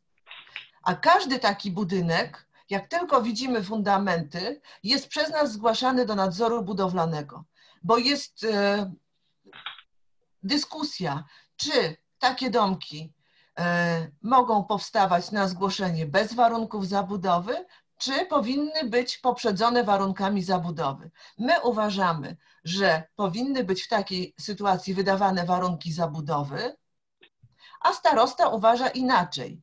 I pan wójt, y, nasz pan prawnik y, starali się udowodnić w Urzędzie Wojewódzkim, że praktyka naszego starostwa no, skutkuje tym, że y, następuje zmiana zagospodarowania tego terenu, ale dotyczy to także całego Podhala.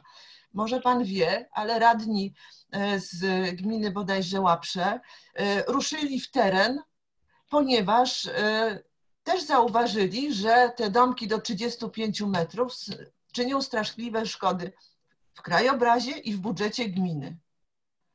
I już wiele osób widzi tą tendencję, że, że to jest negatywne. My już od 2010 roku wiemy o tym i staramy się coś robić. Więc proszę nie, nie, nie mieć do nas o to pretensji.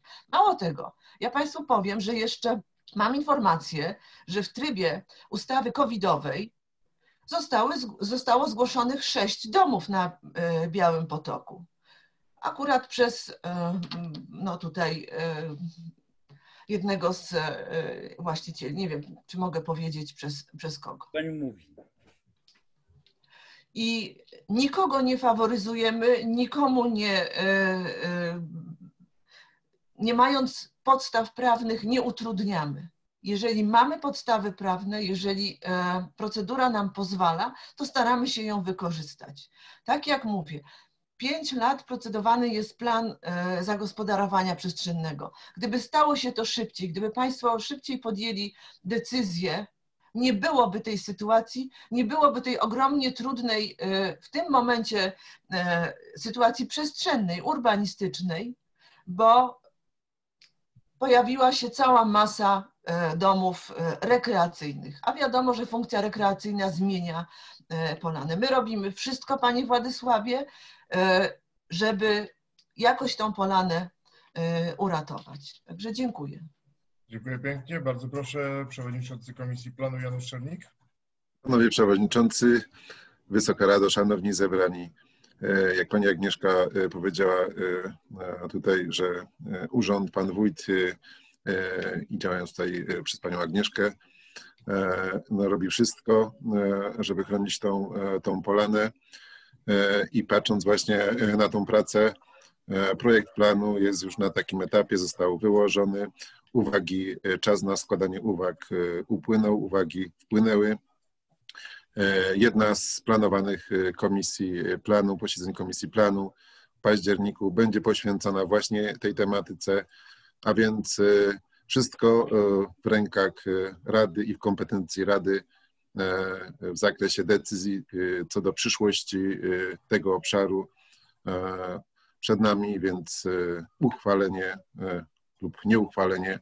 Mam nadzieję, że tutaj wszyscy radni e, będą odpowiedzialnie podchodzić do tego tematu. Tak więc e, myślę, że w najbliższym czasie e, ta, ta kwestia zostanie przedyskutowana i, i zapadnie decyzja ostateczna w postaci uchwalenia bądź nie. To zależy od Państwa e, projektu planu dla e, Polany Biały Potok. Dziękuję bardzo. Dziękuję pięknie. Czy ktoś jeszcze w tej sprawie chciałby zabrać głos? Nie widzę, Szanowni Państwo, zatem przejdę do odczytania uchwały i przejdziemy do głosowania. Kto jest jeszcze tutaj przewodniczącego komisji e, skarg? Prośba o opinię w tej sprawie i przekazanie informacji, jakie stanowisko podjęła komisja. Y, Panie Przewodniczący, już powie, powiedziałem wcześniej, jaka jest opinia. Opinia jest taka, że uznaliśmy, że skarga jest bezzasadna. Dziękuję pięknie. E, Szanowni Państwo, zatem przechodzę do głosowania. Kto jest za podjęciem uchwały nr 154 łamane przez 17 łamane przez 20 Rady Gminy Kościelisko z dnia 24 września 2020 roku w sprawie rozpatrzenia skargi na działalność wójta i tutaj w paragrafie pierwszym po rozpoznaniu skargi Anny Polaczek i Józefa Polaczek z dnia 20 sierpnia 2020 roku na działalność wójta gminy Kościelisko uznaje się skargę za bezzasadną. I bardzo proszę o głosowanie. Artur Bukowski, jestem za. E, Maciek Szeptowski, Jestem za. e, Ryszard Mądry, Jestem za. Mateusz Nędza-Kubiniec, Wstrzymuję się od głosu. Paweł Nędza-Kubiniec, e, Adam Tracz. Słyszę, Adamie?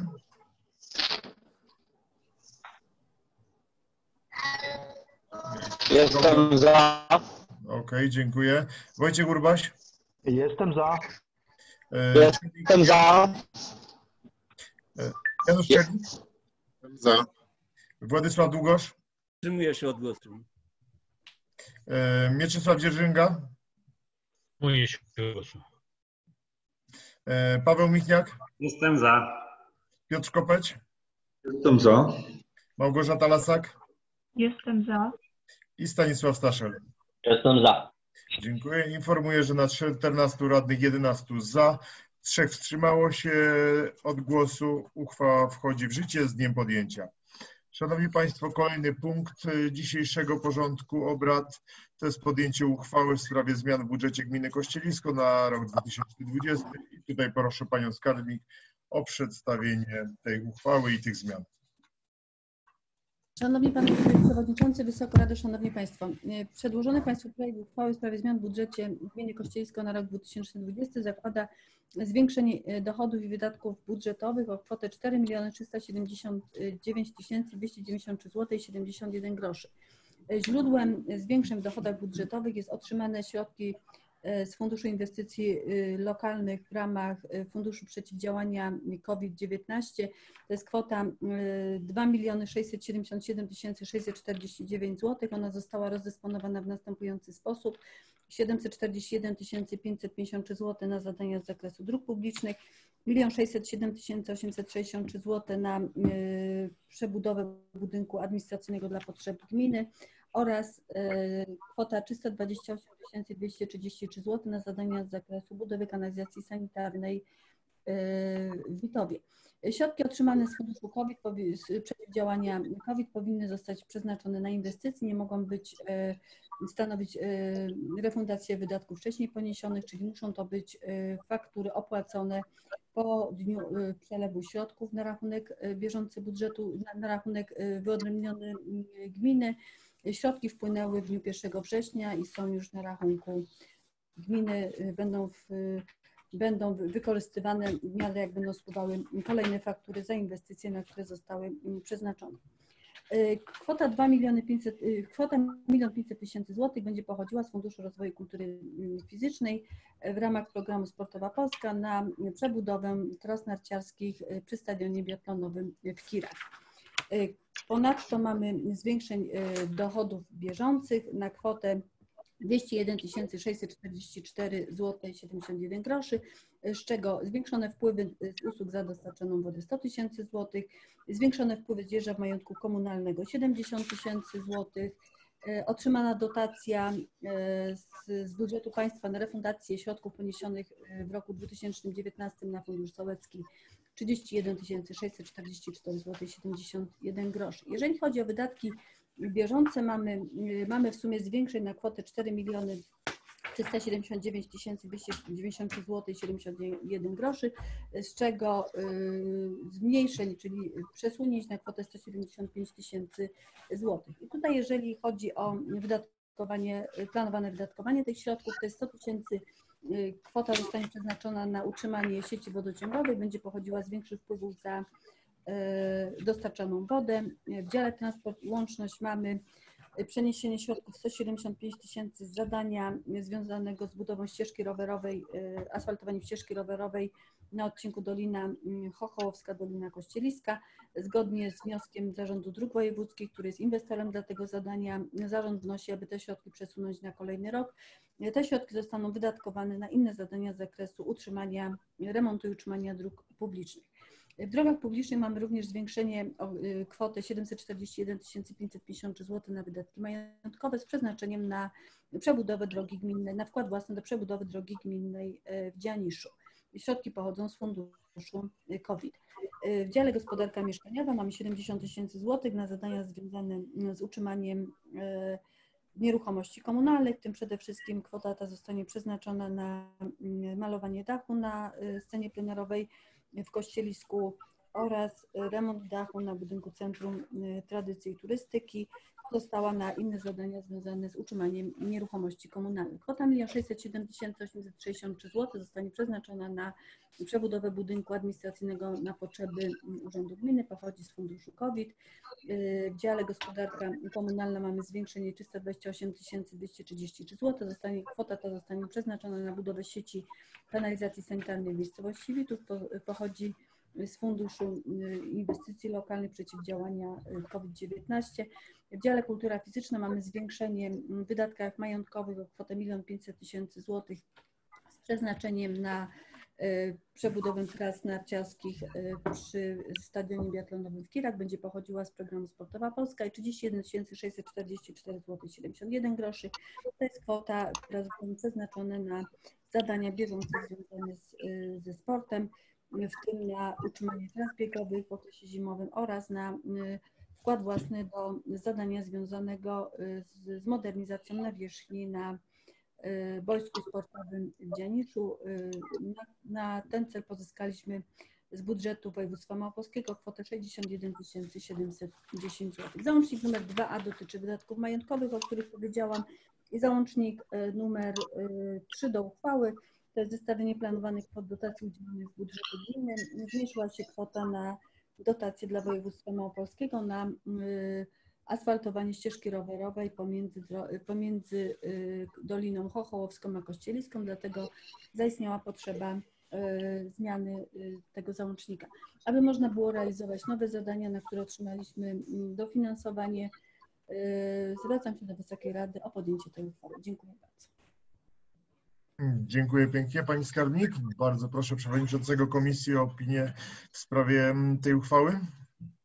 Wysoka Rado, na ostatnim posiedzeniu 16 września pani skarbnik bardzo szczegółowo przedstawiła te zmiany, które są proponowane w dzisiejszej uchwale. Generalnie y, przez y, przyjęcie mm, tych zmian Poprawiamy sytuację finansową w naszym budżecie w ciągu całego tego roku. Jak usłyszeliśmy, mamy dwa mm, poważne osiągnięcia pani skarbnik, pana wójta, czyli y, fundusz y, ze sportowej Polski. On jeszcze będzie w przyszłym roku kontynuowany w wysokości bodajże miliona złotych. No i wsparcie rządu poprzez tarczę COVID. Y, to powoduje, że możemy zrealizować zadania łatwiej, jak, jak wydawało się nam na początku roku, a e, szczegóły przed chwilą pani skarbnik przedstawiała. Wobec tego e, radni zebrani na komisji pozytywnie zaopiniowali przedstawiony projekt. Dziękuję pięknie. E, czy ktoś w sprawie tego projektu chciałby zabrać głos? Nie widzę, Szanowni Państwo, zatem przechodzę do czytania uchwały. Kto jest uchwała numer 17 łamane przez 155 łamane przez 20 Rady Gminy Kościńsko z dnia 24 września 2020 roku w sprawie zmiany w budżecie Gminy Kościńsko na rok 2020. Kto jest za przyjęciem tej uchwały? Artur Bukowski, jestem za. Maciej Krzeptowski, Jestem za. Ryszard Mądry, Jestem za. Mateusz Nędza-Kubiniec, Jestem za. Tadeusz Nędza-Kubiniec, Jestem za. Adam Tracz, Jestem za. Wojciech Urbaś, Jestem za. Czernik Janusz, Za. e, Władysław Długosz, Jestem za. Mieczysław Dzierżęga, Jestem za. Paweł Michniak, Jestem za. Piotr Kopeć, Jestem za. Małgorzata Lasak Jestem za. i Stanisław Staszel. Jestem za. Dziękuję pięknie. Na 14 radnych, 14 za. Uchwała wchodzi w życie z dniem podjęcia i podlega ogłoszeniu w Dzienniku Urzędowym Województwa Małopolskiego. Szanowni Państwo, e, kolejną, kolejnym punktem jest e, spraw, m, podjęcie uchwały w sprawie wieloletniej prognozy finansowej gminy, co jest pochodną wcześniej podjętej uchwały i w tym miejscu również poproszę Panią Skarbnik o przedstawienie uchwały. Szanowni Panowie Przewodniczący, Wysoka Rado, Szanowni Państwo, y, w związku z podjętą uchwałą w sprawie zmian w budżecie gminy na rok 2020 zaistniała potrzeba aktualizacji wieloletniej prognozy finansowej. Aktualizacja dotyczy określenia aktu- aktualnych kwot dochodów wydatków budżetowych oraz przychodów i rozchodów budżetu w roku 2020 oraz y, zwiększenia dochodów w roku 2021 w łącznej kwocie miliona złotych z tytułu dotacji otrzymanej z Funduszu Rozwoju Kultury Fizycznej na realizację projektu pod nazwą Rozwój Infrastruktury Rekreacyjnej w Kościelisku, czyli przebudowa stadionu e, biatlonowego dla potrzeb ogólnodostępnej rekreacji w ramach projektu Aktywna Turystyka kluczem do rozwoju e, pogranicza. W związku ze zmianami e, w limitach wydatków na przedsięwzięcia wieloletnie w roku 2020 zaistniała również potrzeba aktualizacji tych przedsięwzięć i tak mamy zmianę limitów w poszczególnych latach dla takich przedsięwzięć jak pomoc finansowa dla województwa małopolskiego na realizację zadania wykonania na- asfaltowej na trasie rowerowej mm, drogi wojewódzkiej 958 Polana Biały Potok. To jest to zadanie, o którym mówiła, mówiłam, odcinek między Doliną Chochołowską a Kościeliską. Przebudowa drogi gminnej y, Dzianisz-Chochołów y, to jest y, wkład własny na wprowadzenie wkładu własnego na, do realizacji tego zadania. Przebudowa i adaptacja istniejącego budynku biurowego z przeznaczeniem na cele społeczne wraz z zagospodarowaniem terenu wokół budynku. Również związane z tym, że w tym roku zwiększamy limit. Rozwój infrastruktury rekreacyjnej w Kościelisku, przebudowa stadionu biatlonowego dla potrzeb ogólnodostępnej rekreacji w ramach projektu Aktywna Turystyka kluczem rozwoju pogranicza. W tym zakresie również e, zmiana związana jest z na rok 2020 i dodatkowo na rok 2021 w dotacji otrzymanej z Funduszu Rozwoju Kultury Fizycznej zostaną zabezpieczone środki na projektowanie e, drugiego etapu realizacji tej inwestycji. Aby można było te wszystkie inwestycje zrealizować zgodnie e, z przyjętą uchwałą w sprawie zmian w budżecie, zwracam się do Wysokiej Rady o podjęcie uchwały w sprawie zmiany wieloletniej prognozy finansowej gminy Kościelisko na lata 2020-2040. Dziękuję pięknie. Poproszę przewodniczącego Komisji Ekonomiki o opinię w sprawie tej uchwały. Na posiedzeniu komisji 16 września pozytywnie zaopiniowaliśmy przedstawioną y, projekt uchwały. Dziękuję pięknie. Czy ktoś z radnych chciałby w w sprawie tej uchwały zabrać głos? Nie widzę. Szanowni Państwo, zatem przechodzę do odczytania uchwały. Kto jest za podjęciem uchwały nr 17 łamane przez 156 łamane przez 20 Rady Gminy Kościelisko z dnia 24 września 2020 roku w sprawie wielolet... zmiany wieloletniej prognozy finansowej Gminy Kościelisko na lata 2020-2040? Artur Bukowski, jestem za. Maciej Krzeptowski? Jestem za. Ryszard Mądry? Jestem za. Mateusz Nędza-Kubiniec? Jestem za. Tadeusz Nędza-Kubiniec? Jestem za. Adam Tracz? Jestem za. Wojciech Urbaś? Jestem za. Janusz Czernik? Jestem za. E, Władysław Długosz? Jestem za. Mieczysław Dzierżęga? Jestem za. Paweł Michniak? Jestem za. Piotr Kopeć? Jestem za. Lasak Małgorzata? Jestem za. I Stanisław Staszel. Jestem za. Dziękuję pięknie. Na 14 radnych 14 za. Uchwała wchodzi w życie z dniem podjęcia. Szanowni Państwo, Punkt kolejny to sprawy bieżące dzisiejszej sesji i w tym miejscu informuję, że mm, tak jak informowałem Was ostatnio, oświadczenia majątkowe zostały złożone do e, Urzędu Skarbowego i opublikowane na BIP-ie. Tutaj są dwa niedociągnięcia, jeżeli chodzi o radnych, ale to na spokojnie przy spotkaniu wyjaśnimy sobie te kwestie, żeby na przyszłość nie omijać e, niektórych rubryk. Tak, e, poza tym wszystkie oświadczenia zostały zaakceptowane, nie było z nimi problemu.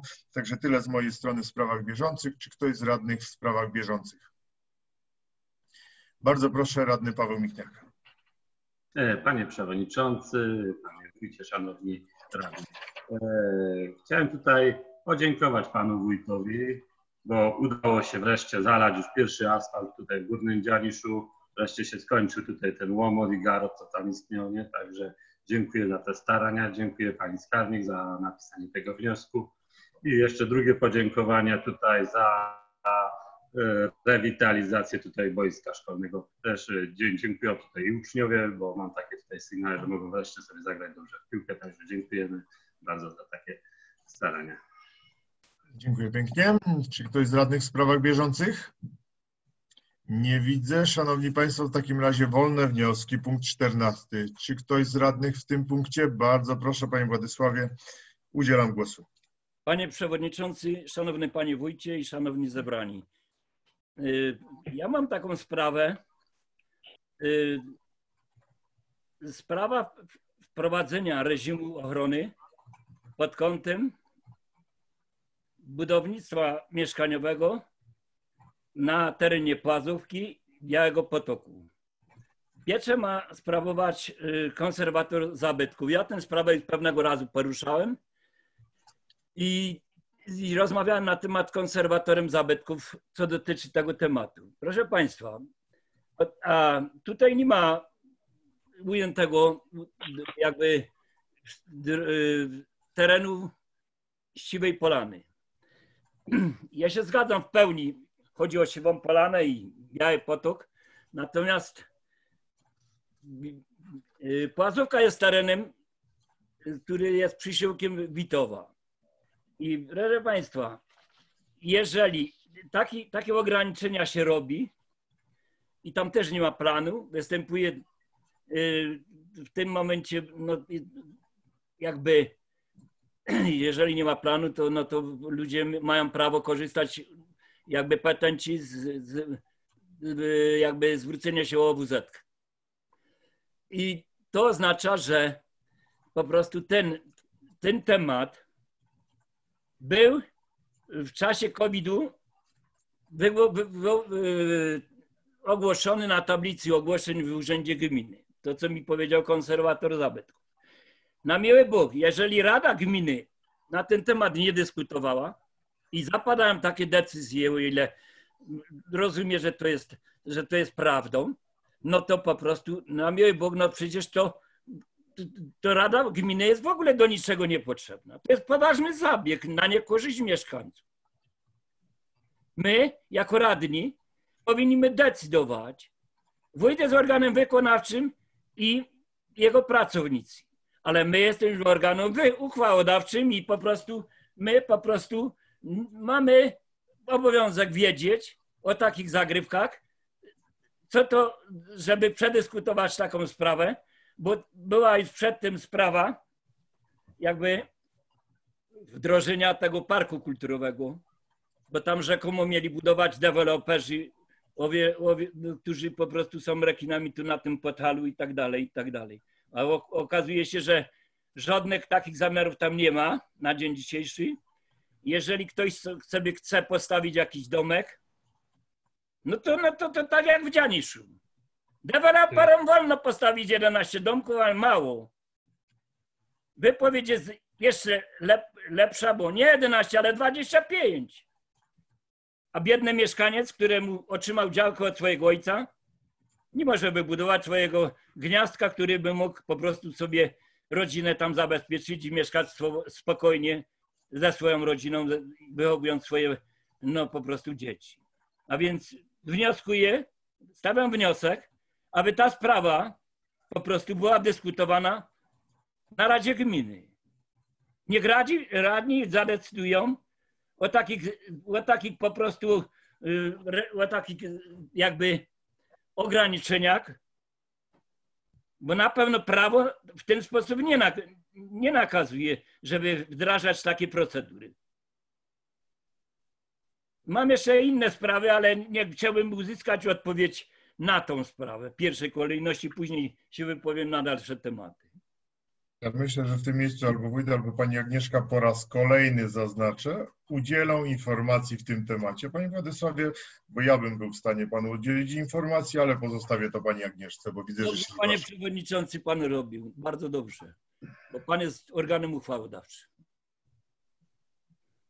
Pani Agnieszko, proszę w głos włączyć i udzielić jeszcze raz panu Władysławowi odpowiedzi, kto jest autorem e, tego projektu i skąd on się wziął i na jakiej podstawie obowiązuje na terenie naszej gminy. Nie obowiązuje jeszcze. Dwie podstawowe e, kwestie. Ewidencja zabytków. Jest to e, jedna z form opieki nad zabytkami i są dwie ewidencje. Ewidencja wojewódzka i ewidencja gminna. Ewidencja wojewódzka była sp- sporządzana w latach 80. i e, z ustawy, z ustawy e, o opiece nad zabytkami wynika, że jeżeli coś jest wpisane w ewidencji wojewódzkiej, musi być również wpisane do ewidencji gminnej. I tutaj przepis prawa jest absolutnie, panie Władysławie, jednoznaczny. Skoro konserwator zabytków, Polski Wojewódzki Konserwator Zabytków wpisał do wojewódzkiej ewidencji Polanę e, Biały Potok i Płazówkę, poinformował o tym gminę. Gmina ma obowiązek, ma po prostu obowiązek wpisać ją również do, e, wpisać taki obiekt również do gminnej ewidencji zabytków. Nie ma tutaj żadnej dyskusji. Rada Gminy również nie ma tutaj e, żadnego pola manewru. I teraz druga sprawa. E, Z tego, co się dowiedziałam, w poniedziałek Wojewódzki Konserwator Zabytków podjął procedurę wpisu do rejestru zabytków Polany Biały Potok i Polany Płazówka z urzędu. Będzie się toczyło postępowanie. Dzisiaj umieściliśmy tę informację na e, naszej stronie internetowej, na e, w biuletynie informacji publicznej, na tablicach ogłoszeń e, i e, taka procedura rozpoczyna się to, czy rozpoczyna swoje, e, swój bieg. Jak się zakończy, tego oczywiście na razie nie wiadomo. Jest to e, wpis obszarowy do rejestru zabytków Polany Biały Potok i Polany Płazówka. Widoczne wartości tego obszaru są takie, że konserwator uznał, że najwyższa w sumie forma ochrony e, dla tych terenów będzie najwłaściwszą formą. Także Panie Władku, Rada Gminy, no pewno będziecie Państwo mogli brać udział w jakimś spotkaniu z konserwatorem zabytków, e, bo w procedurze wpisu do rejestru zabytków e, będzie takie spotkanie pewno przeprowadzone. Więc być może wtedy Państwo e, będą mogli przyjść i porozmawiać z konserwatorem na temat wartości tego obszaru. Także e, właściwie gmina e, już w tym momencie niewiele e, tutaj może zrobić. Skargi, myślę, że to właśnie skargi, które wpływały na wpis do wojewódzkiej ewidencji zabytków, do gminnej ewidencji zabytków, Polany Płazówka i Polany Biały Potok spowodowały, że konserwator postanowił wzmocnić formę ochrony. Także dziękuję. Dziękuję pięknie. Bardzo proszę Panie Władysławie. Pań, panie Przewodniczący pani, i Pani Agnieszko. Pani po prostu myli pojęcia, ponieważ mm, to jest nie polana, Płazówka to nie jest polana, bo to jest po prostu przysiłek Witowa. Jest to, jest to osiedle, i jest to osiedle i, i po prostu tam nie ma pojedynczych takich domków jak na Białym Potoku i tak dalej, i tak dalej. Także no, no to jeżeli w tym kierunku gmina idzie, konserwator powiedział, że to jest na życzenie Urzędu Gminy zapisane. No ale będzie, możemy skonfrontować, jeżeli będzie okazja i tak dalej. Natomiast rozumie to, że no Kościelisko też jest polana, polana, polaną. No a tam po prostu, no co się to wyrabia tam w tym kościelisku? No to, to trzeba też tam reżim wprowadzić, żeby ty, ty, ta dzika, dzika deweloperska e, siła tam nie, nie budowała tych apartamentowców i tak dalej, i tak dalej. Także Pani Agnieszko, jeżeli w jednym kierunku idziemy, to może by my poszerzyli ten temat i, i zrobili porządek i, i do siwej, na siłą polanę akurat pan był konserwator bardzo zdziwiony w rozmowie, kiedy, kiedy po prostu mówi, że nawet powiedział, że siła polana też jest pisana. Ja mówię, że proszę pana nie.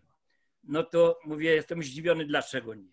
No i, i, i taki był wniosek. Natomiast rozumiem, że na Płazówce, żeby otrzymać jakiekolwiek jakieś pozwolenie na budowę, do czego mają ludzie w pełni prawo, bo chcę mi jasno powiedzieć, że tam po prostu jeszcze za poprzedniego wójta było wydane, wydana WZ na panu dyrektorowi Taczańskiego Parku Narodowego, po prostu co wybudował bez żadnych zgrzytów budynek, jaki chciał.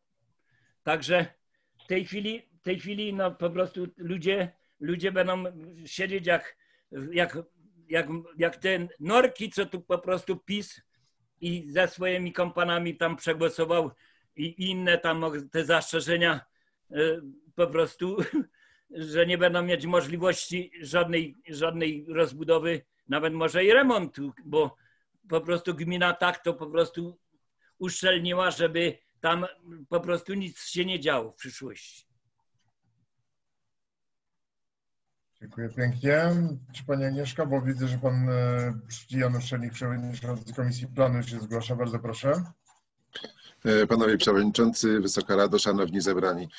Chciałbym przypomnieć, że jeszcze w poprzedniej kadencji został przyjęty e, harmonogram prac planistycznych, gdzie Rada, no pan Władysław też pewnie pamięta, pan Przewodniczący, ci, ci którzy brali udział w tych, w tych założeniach, aby y, prace planistyczne obejmowały całe obiekty, e, czyli y, obiekt Kościelisko, Witów i Dzianisz całościowo. Wiemy, że dobiega, y, dobiegają prace planistyczne, końca prace planistyczne w miejscowości Kościelisko. I wiemy też, wiemy też, że Witowie kończą się prace związane z modernizacją operatu ewidencji gruntów a właśnie ten operat, y, czyli mapa ewidencyjna, y, już y, wykonana w oparciu o aktualne przepisy, może być podstawą do rozpoczęcia prac, prac planistycznych na danej miejscowości. Mam nadzieję, bo tu pan Władysław widzi obawy co do przyszłości i możliwości rozwojowych miejscowości Witów. Mam nadzieję, że końcem tego roku prace związane z modernizacją aparatu ewidencji y, gruntów y, dla miejscowości Witów dobiegną końca i my jako Rada będziemy mogli zgodnie z harmonogramem tych y, prac i, i tych założeń przystąpić do, do rozpoczęcia prac planistycznych, podjąć taką uchwałę, to wszystko zależy od, od całej Rady, przystąpić właśnie do otwarcia procedury planistycznej dla miejscowości Witów i dążyć do sporządzenia dokumentu planistycznego, jak i, jak i nowego planu miejscowego dla Witowa. Dużo się tutaj dzisiaj mówi o e, decyzjach, o warunkach zabudowy, e, warunkach, wydawania warunków, warunków zabudowy, ale uważam, że właśnie miejscowy plan jest najbardziej sprawiedliwym społecznie dokumentem planistycznym, e, dlatego że obejmuje obszary całościowo nie, nie, nie traktuje ich wyrywkowo. Daje możliwość y, harmonizacji zabudowy pod względem architektonicznym y, i my jako Rada jesteśmy właściwi w zakresie właśnie e, miejscowego planu i powinniśmy dążyć do tego, aby te, ta, takie do- dokumenty powstawały. Mam nadzieję, że dla Witowa w niedługim czasie będzie możliwość otwarcia prac planistycznych nad nowym planem dla całej miejscowości. E, Jak tutaj się przys- przysłuchiwałem odnośnie Dzianisza. Przed Dzianiszem pewnie modernizacja, my nie wiemy kiedy ta modernizacja ewidencji nastąpi. E, Zależy to oczywiście od starosty, bo starosta jest właściwym organem w tym zakresie, a wydaje mi się, e, iż zagadnieniem wstępnym właśnie jest przygotowanie nowego operatu ewidencji gruntów. Mam nadzieję, że Dzianisz będzie tym no, na pewno, bo już ostatnim obrębem, gdzie ta modernizacja ewidencji nastąpi i docelowo będzie można też kiedyś e, po, po tej modernizacji przystąpić do e, całościowej zmiany miejscowego planu e, dla Dzianisza.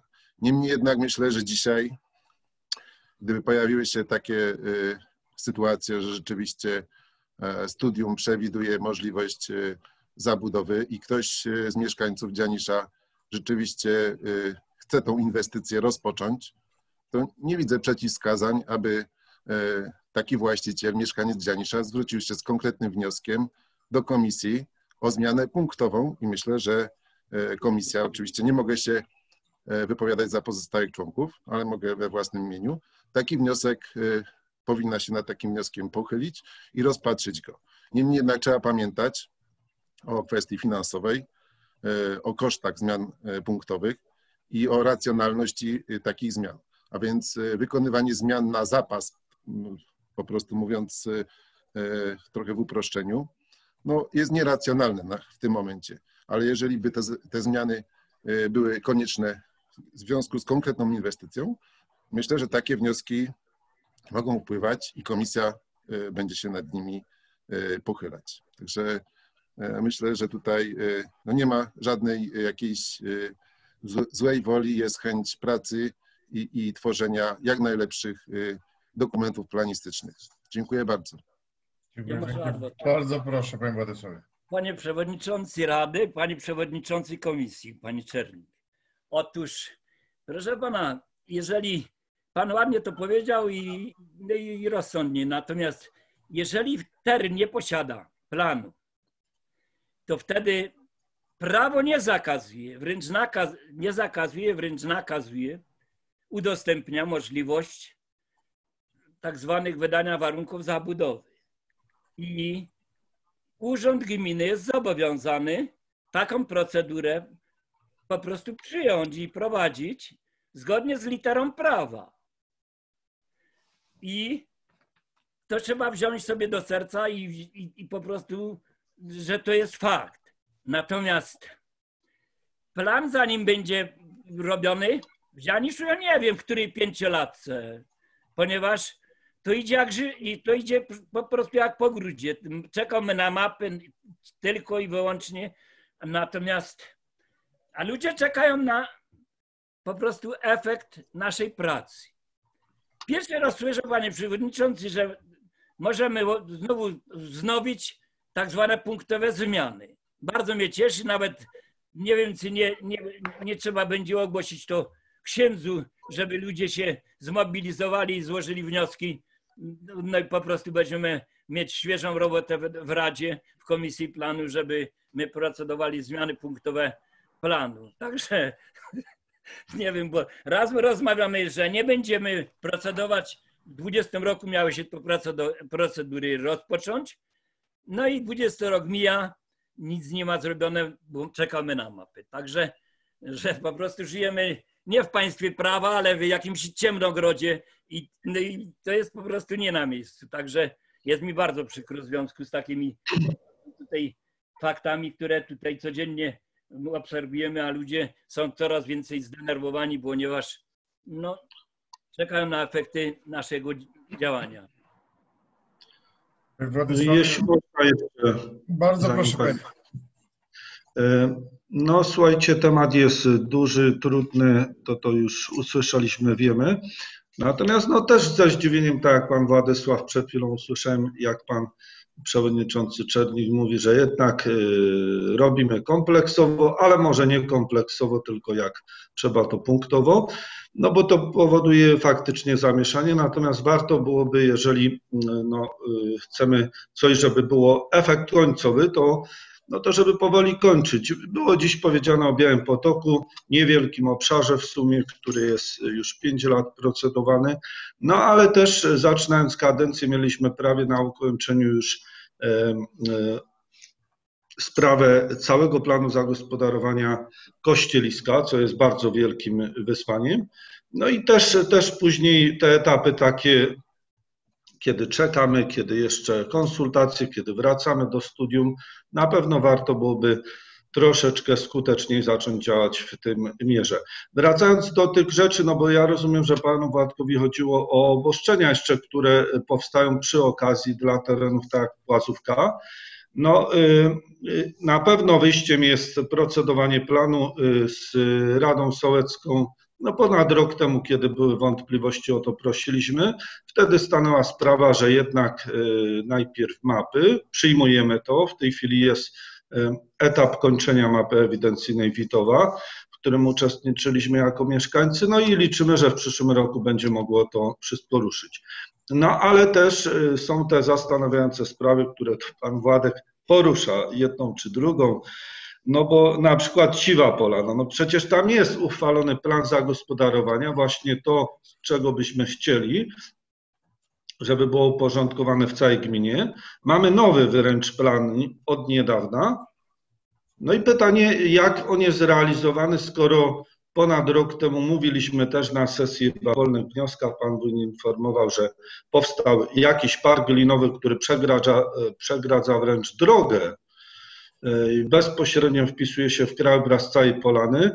To nie było przewidywane na pewno w planie zagospodarowania, który jest, no i, no i w tej chwili dalej jest, no nie?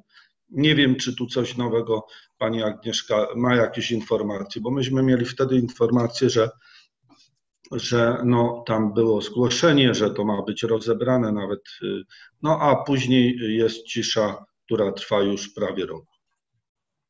Bardzo proszę Pani Agnieszko. E, dziękuję. Więc e, jeszcze wrócę do Płazówki, Panie Władku, e, i wytłumaczę po raz kolejny, że Płazówka to też jest polana, tylko w jakby najbardziej zaawansowanej fazie rozwoju i występuje tam zabudowa. I warunki zabudowy, procedurę warunków zabudowy tam stosujemy, ponieważ nie ma planu zagospodarowania i wydajemy warunki zabudowy w tym obszarze, który jest obecnie zabudowany. Natomiast nie, wydały, nie, nie wydajemy warunków zabudowy na y, obrzeżu Polany pod lasem. Tam była odmowa. Proszę zrozumieć, to jest różnica. W tym obszarze, gdzie budynki już stoją, następują uzupełnienia zabudowy i mieszkańcy Y, mogą składać y, y, o warunki zabudowy wnioski i my je procedujemy. Jeżeli chodzi natomiast o siwą polanę, to tak, od 2015 roku jest wpisana, jest objęta planem miejscowym i widzieliśmy, że źle się na tej polanie dzieje i mm, przeprowadzona była kontrola. Spisaliśmy wszystkie budynki, które powstały niezgodnie z e, tym planem zagospodarowania przestrzennego i rozmawialiśmy o tym z nadzorem budowlanym. Nadzór budowlany e, z urzędu podjął e, wyzwanie i nie wiem, czy zauważyli Państwo, ale w ostatnim czasie z Siwej Polany zniknęło bardzo wiele obiektów wydano nakazy rozbiórki i ludzie e, wykonali e, te rozbiórki. Natomiast jak chodzi o park linowy, to jak pierwsze, pierwsze słupy e, zaczęły się pojawiać, byłam tam ze strażą gminną, spisałam wszystko i zgłosiłam do nadzoru budowlanego. Nadzór budowlany poprowadził całe postępowanie. Widziałam na własne oczy nakaz rozbiórki dla parku linowego, ale widocznie nie jest prawomocny lub e, z jakichś innych względów nie jest jeszcze wykonany, ale nakaz rozbiórki dla parku linowego wpłynął do e, urzędu. Widziałam, że został e, wydany. Jak wszyscy wiedzą, inwestorzy odwołują się, poruszają niebo i ziemię, żeby takie decyzje urzędowe wzruszać, więc pewno coś się tam jeszcze toczy. E, Natomiast e, konserwator e, zabytków e, ma prawo e, wpisywać do wojewódzkiej ewidencji zabytków, do rejestru zabytków te obszary, które w jego e, przekonaniu posiadają wartości. Jak Państwo popatrzą na stronę e, Biuletynu Informacji Publicznej Małopolskiego Urzędu Konserwatorskiego, to zobaczą Państwo, ile obiektów w ostatnim czasie konserwator wpisał. Ile w Nowym Targu, w Zakopanem, w Czarnym Dunajcu. Widać, że poprzedni konserwator, poprzednie władze konserwatorskie nie kładły na to tak dużego nacisku. Za to konserwator y, y, stracił pracę, z tego co wiem. I teraz y, od jakiegoś czasu, od pewno dwóch czy trzech lat, prowadzone są przez konserwatora bardzo intensywne działania i wpisy zarówno do ewidencji zabytków, jak i do rejestru zabytków. Dziękuję. Dziękuję pięknie. E, Chciał głos zabrać wójt. Widziałem. Bardzo proszę, panie wójcie. Bardzo dziękuję panowie przewodniczący, Wysoka Rado. Ja przysłuchując się tej dyskusji mam prośbę do pana przewodniczącego Komisji Planu, że, bo wiem, że najbliższe posiedzenie jest planowane e, w najbliższych dniach, żeby jednak przypomnieć o tych ustaleniach, które mieliśmy dla poszczególnych obszarów, bo tutaj mam takie poczucie, że chyba nie wszyscy e, pamiętamy o tym, co było dyskutowane na ostatnich posiedzeniach, jakie zasady wprowadzone dla poszczególnych sołectw e, i, i decyzje. Tutaj odwołam się do tego, o czym mówił pan e, Władysław, tutaj długoż, bo wiele wątków poruszonych, wiele w moim odczuciu półpraw też powiedzianych, bo, bo Panie Władysławie mówiła już Pani Agnieszka o tym. My dla terenu, jeżeli idzie o Płazówkę, tego terenu, który jest objęty obszarem studium, wydajemy WZ-ki. Chyba tutaj Pani Agnieszka może mnie poprawić. W ostatnim, kiedy jestem wójtem, trzy czy cztery WZ-ki e, zostały uzgodnione, decyzje zostały wydane. Tak? Tutaj, e, jeżeli te warunki wynikające z ustawy o planowaniu przestrzennym są spełnione, te warunki są przez nas wydawane. Ja nie wiem o, o, o jakich sytuacjach Pan mówi, że są tutaj utrudnienia. Oczywiście to też e, nie jest tajemnicą, i bo na ten temat też dyskutujemy, że w sytuacji, kiedy na Płazówce mamy ten teren poza, poza studium, tak jak e, tutaj e, o tym była już mowa, no tutaj e, sprawdzamy te, te, te warunki, bo zdajemy sobie sprawę, że ta decyzja jednak jest istotna i ważna i z punktu widzenia całego układu samej polany Płazówki ma, ma znaczenie, więc na to zwracamy uwagę, ale w ramach studium, Panie Władysławie, warunki są wydawane, jeżeli tylko e, ktoś się e, o te warunki zwraca, e, dokona odpowiednich us- ustaleń, złoży odpowiednią dokumentację, one są wydawane. Co do Siwej Polany i Parku Linowego, Pani Agnieszka też odpowiedziała, ja mówiłem o tym wielokrotnie. Jest wydana decyzja o rozbiórce dla tego urządzenia, obiektu, zwał jak zwał. Mam nadzieję, że tutaj w po tych odwołaniach zostanie ona utrzymana i wprowadzona w życie. Ja Państwu mówiłem, że spotkałem się z szefem e, Powiatowego Inspektoratu Nadzoru Budowlanego i jeżeli ta decyzja będzie prawomocna, ta lub w innych e, przypadkach dotycząca innego budynku, nawet e, będę się starał Państwa przekonać, żeby jakąś część środków zarezerwować, dołożyć się do tej rozbiórki, bo zdaję sobie z tego sprawę, że w sytuacji, kiedy plan ochronny jest przez nas uchwalany, to, to może rzeczywiście powodować irytację, że tutaj nic się nie dzieje, tak? Ale my z naszej strony tutaj staramy się e, jednak dochowywać należytej staranności i, i swoje jakby robić. To, że procedura w dalszej części jest ułomna, na ten temat wielokrotnie rozmawialiśmy, jeżeli chodzi o pozostałe instytucje, na to już nie, nie, niestety e, nie mamy wpływu, ale to też nie jest powód i nie dam sobie tego wmówić, że, że to jest powód do tego, żeby w tych zakresach nic nie robić. Pan Władysław powiedział, e, tutaj e, zacytuję jego słowa, powinniśmy decydować, wy jako organ uchwałodawczy. Tak, ja się z tym zgadzam i ja was do tego namawiam w, w temacie Białego Potoku, w innych tematach, tam gdzie można e, uchwalać plany, miejscowe plany zagospodarowania przestrzennego, decydujcie. Właśnie do tego Was namawiam. Panie Władysławie, tak jak Pan powiedział, powinniśmy decydować. Decydujmy, uchwalajmy plany, bo zgodzę się z przewodniczącym Komisji e, Planów, z tą jego wypowiedzią. Plany mają jednak ten charakter pewnej sprawiedliwości, pe- pewnej e, kompleksowości, tak, jeżeli idzie o uzgodnienia i tutaj jestem jak najbardziej zwolennikiem uchwalenia. Oczywiście sytuacji, kiedy, kiedy te ekonomiczne warunki sytuacji opracowania map są spełnione. Więc zdecydujmy, z naszej strony tutaj jako urzędu jest pełne zrozumienie i będziemy tej waszej decyzyjności też na pewno przyklaskiwali, bo, bo ta decyzyjność zawsze przy okazji jakichś naszych wniosków, naszych pism jest zawsze podnoszona. Prosimy tutaj pana wójta, żeby Rada Gminy w tym zakresie, jeżeli jest to taki, a nie inny teren, podjęła uchwałę o opracowaniu miejscowego planu zagospodarowania przestrzennego. Co do kwestii związanej, jeszcze się odwołam do ewidencji zabytków i wojewódzkiej i gminnej. Pani Agnieszka tutaj wyraźnie to, to tutaj powiedziała, jeżeli idzie o to spotkanie, to tutaj, jeżeli takie zostanie zaplanowane, to też będę Państwa prosił o uczestnictwo, ale to się dzieje poza nami, to już też była procedura wyjaśniona jakby z urzędu i z naszej strony tutaj w żadnym zakresie nie było żadnego wyjściowego pisma w tym temacie. Dziękuję bardzo. Dziękuję pięknie. Przypominam, jesteśmy w punkcie wolne wnioski. Czy ktoś z radnych jeszcze by chciał? Bardzo proszę. Dwa, jeszcze dwa pytania. Oczywiście. Panie Przewodniczący, Wysoka Rado, Szanowny Panie Wójcie.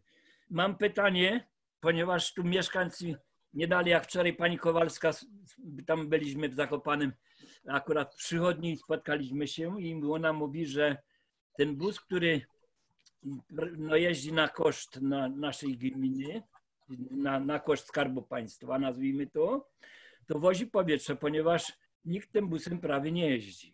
No i nie wiem, chyba też zauważyłem dobrze, że przeździani, że przechodzi, to też nie widzę tam pasażerów. I jak to się ma w tej sprawie?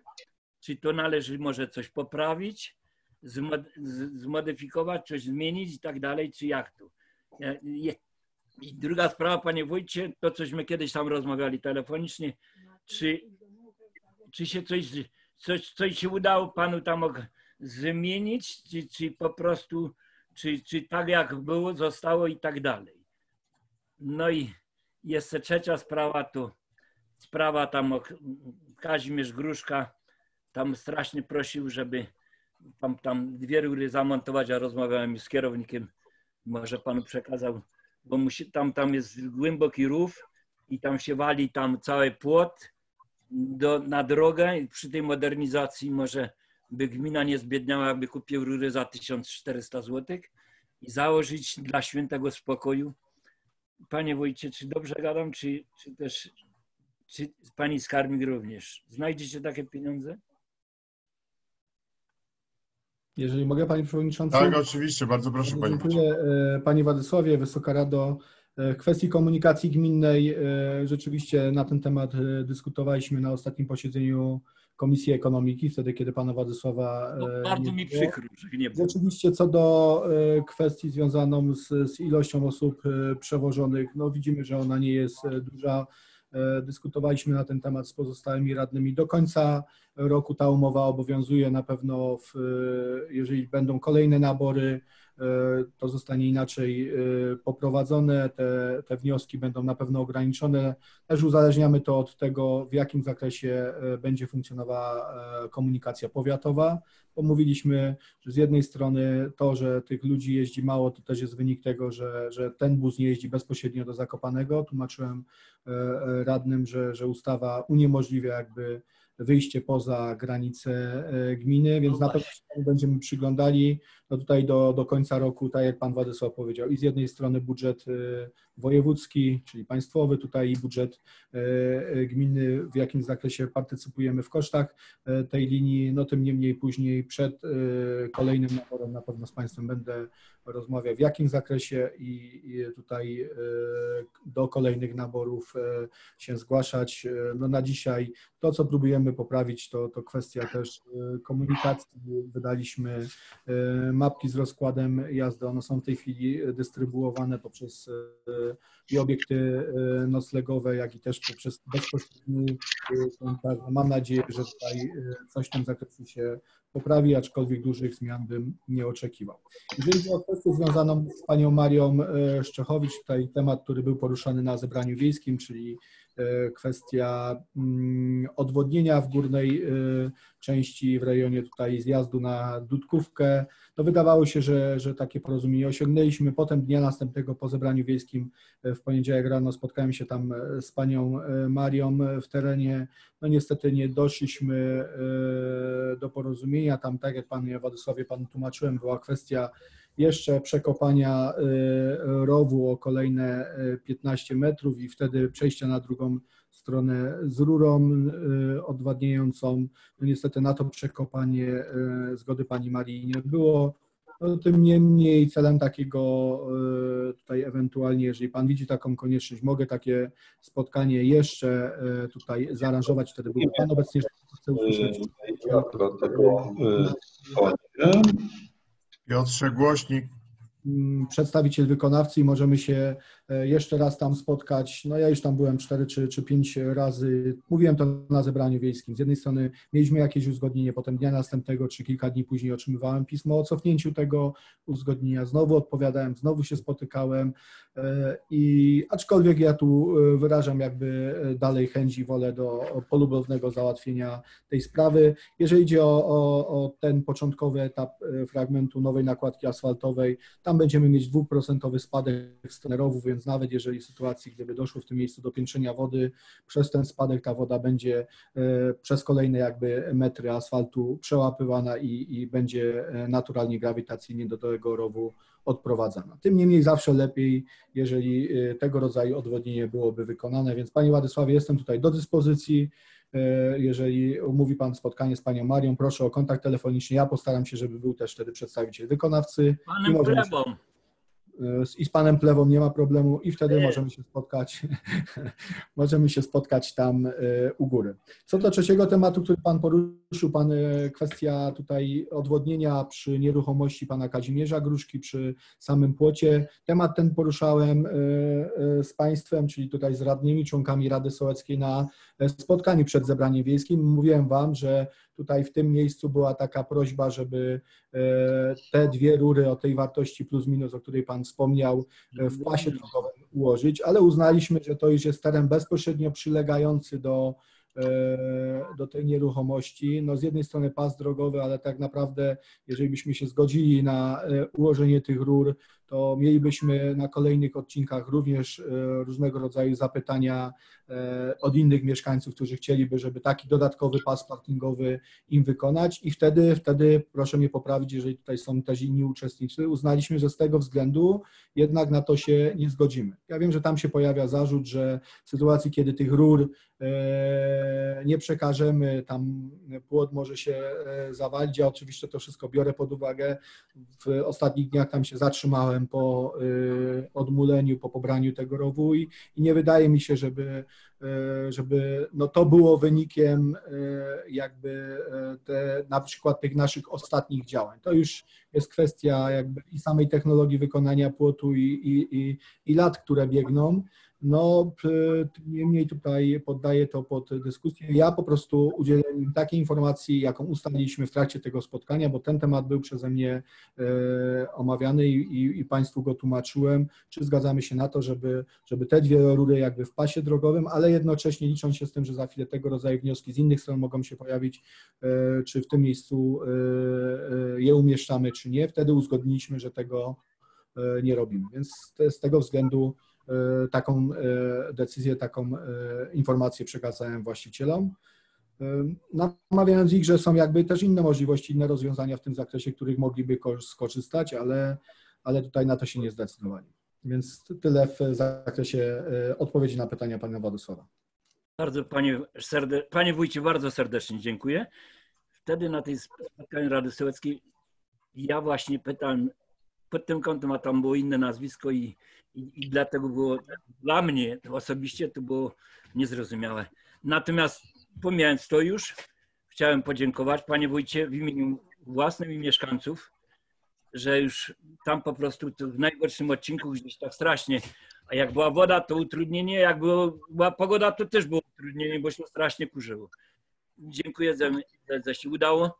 Panu dziękuję serdecznie, panu wójtowi, pani skarbnik i wszystkim pracownikom, którzy się przyczynili do tego i radnym po prostu za to, że w końcu no, będziemy mieć drogę, po której będą pojazdy się poruszały bez dramatów, urywanie misk olejowych i tak dalej.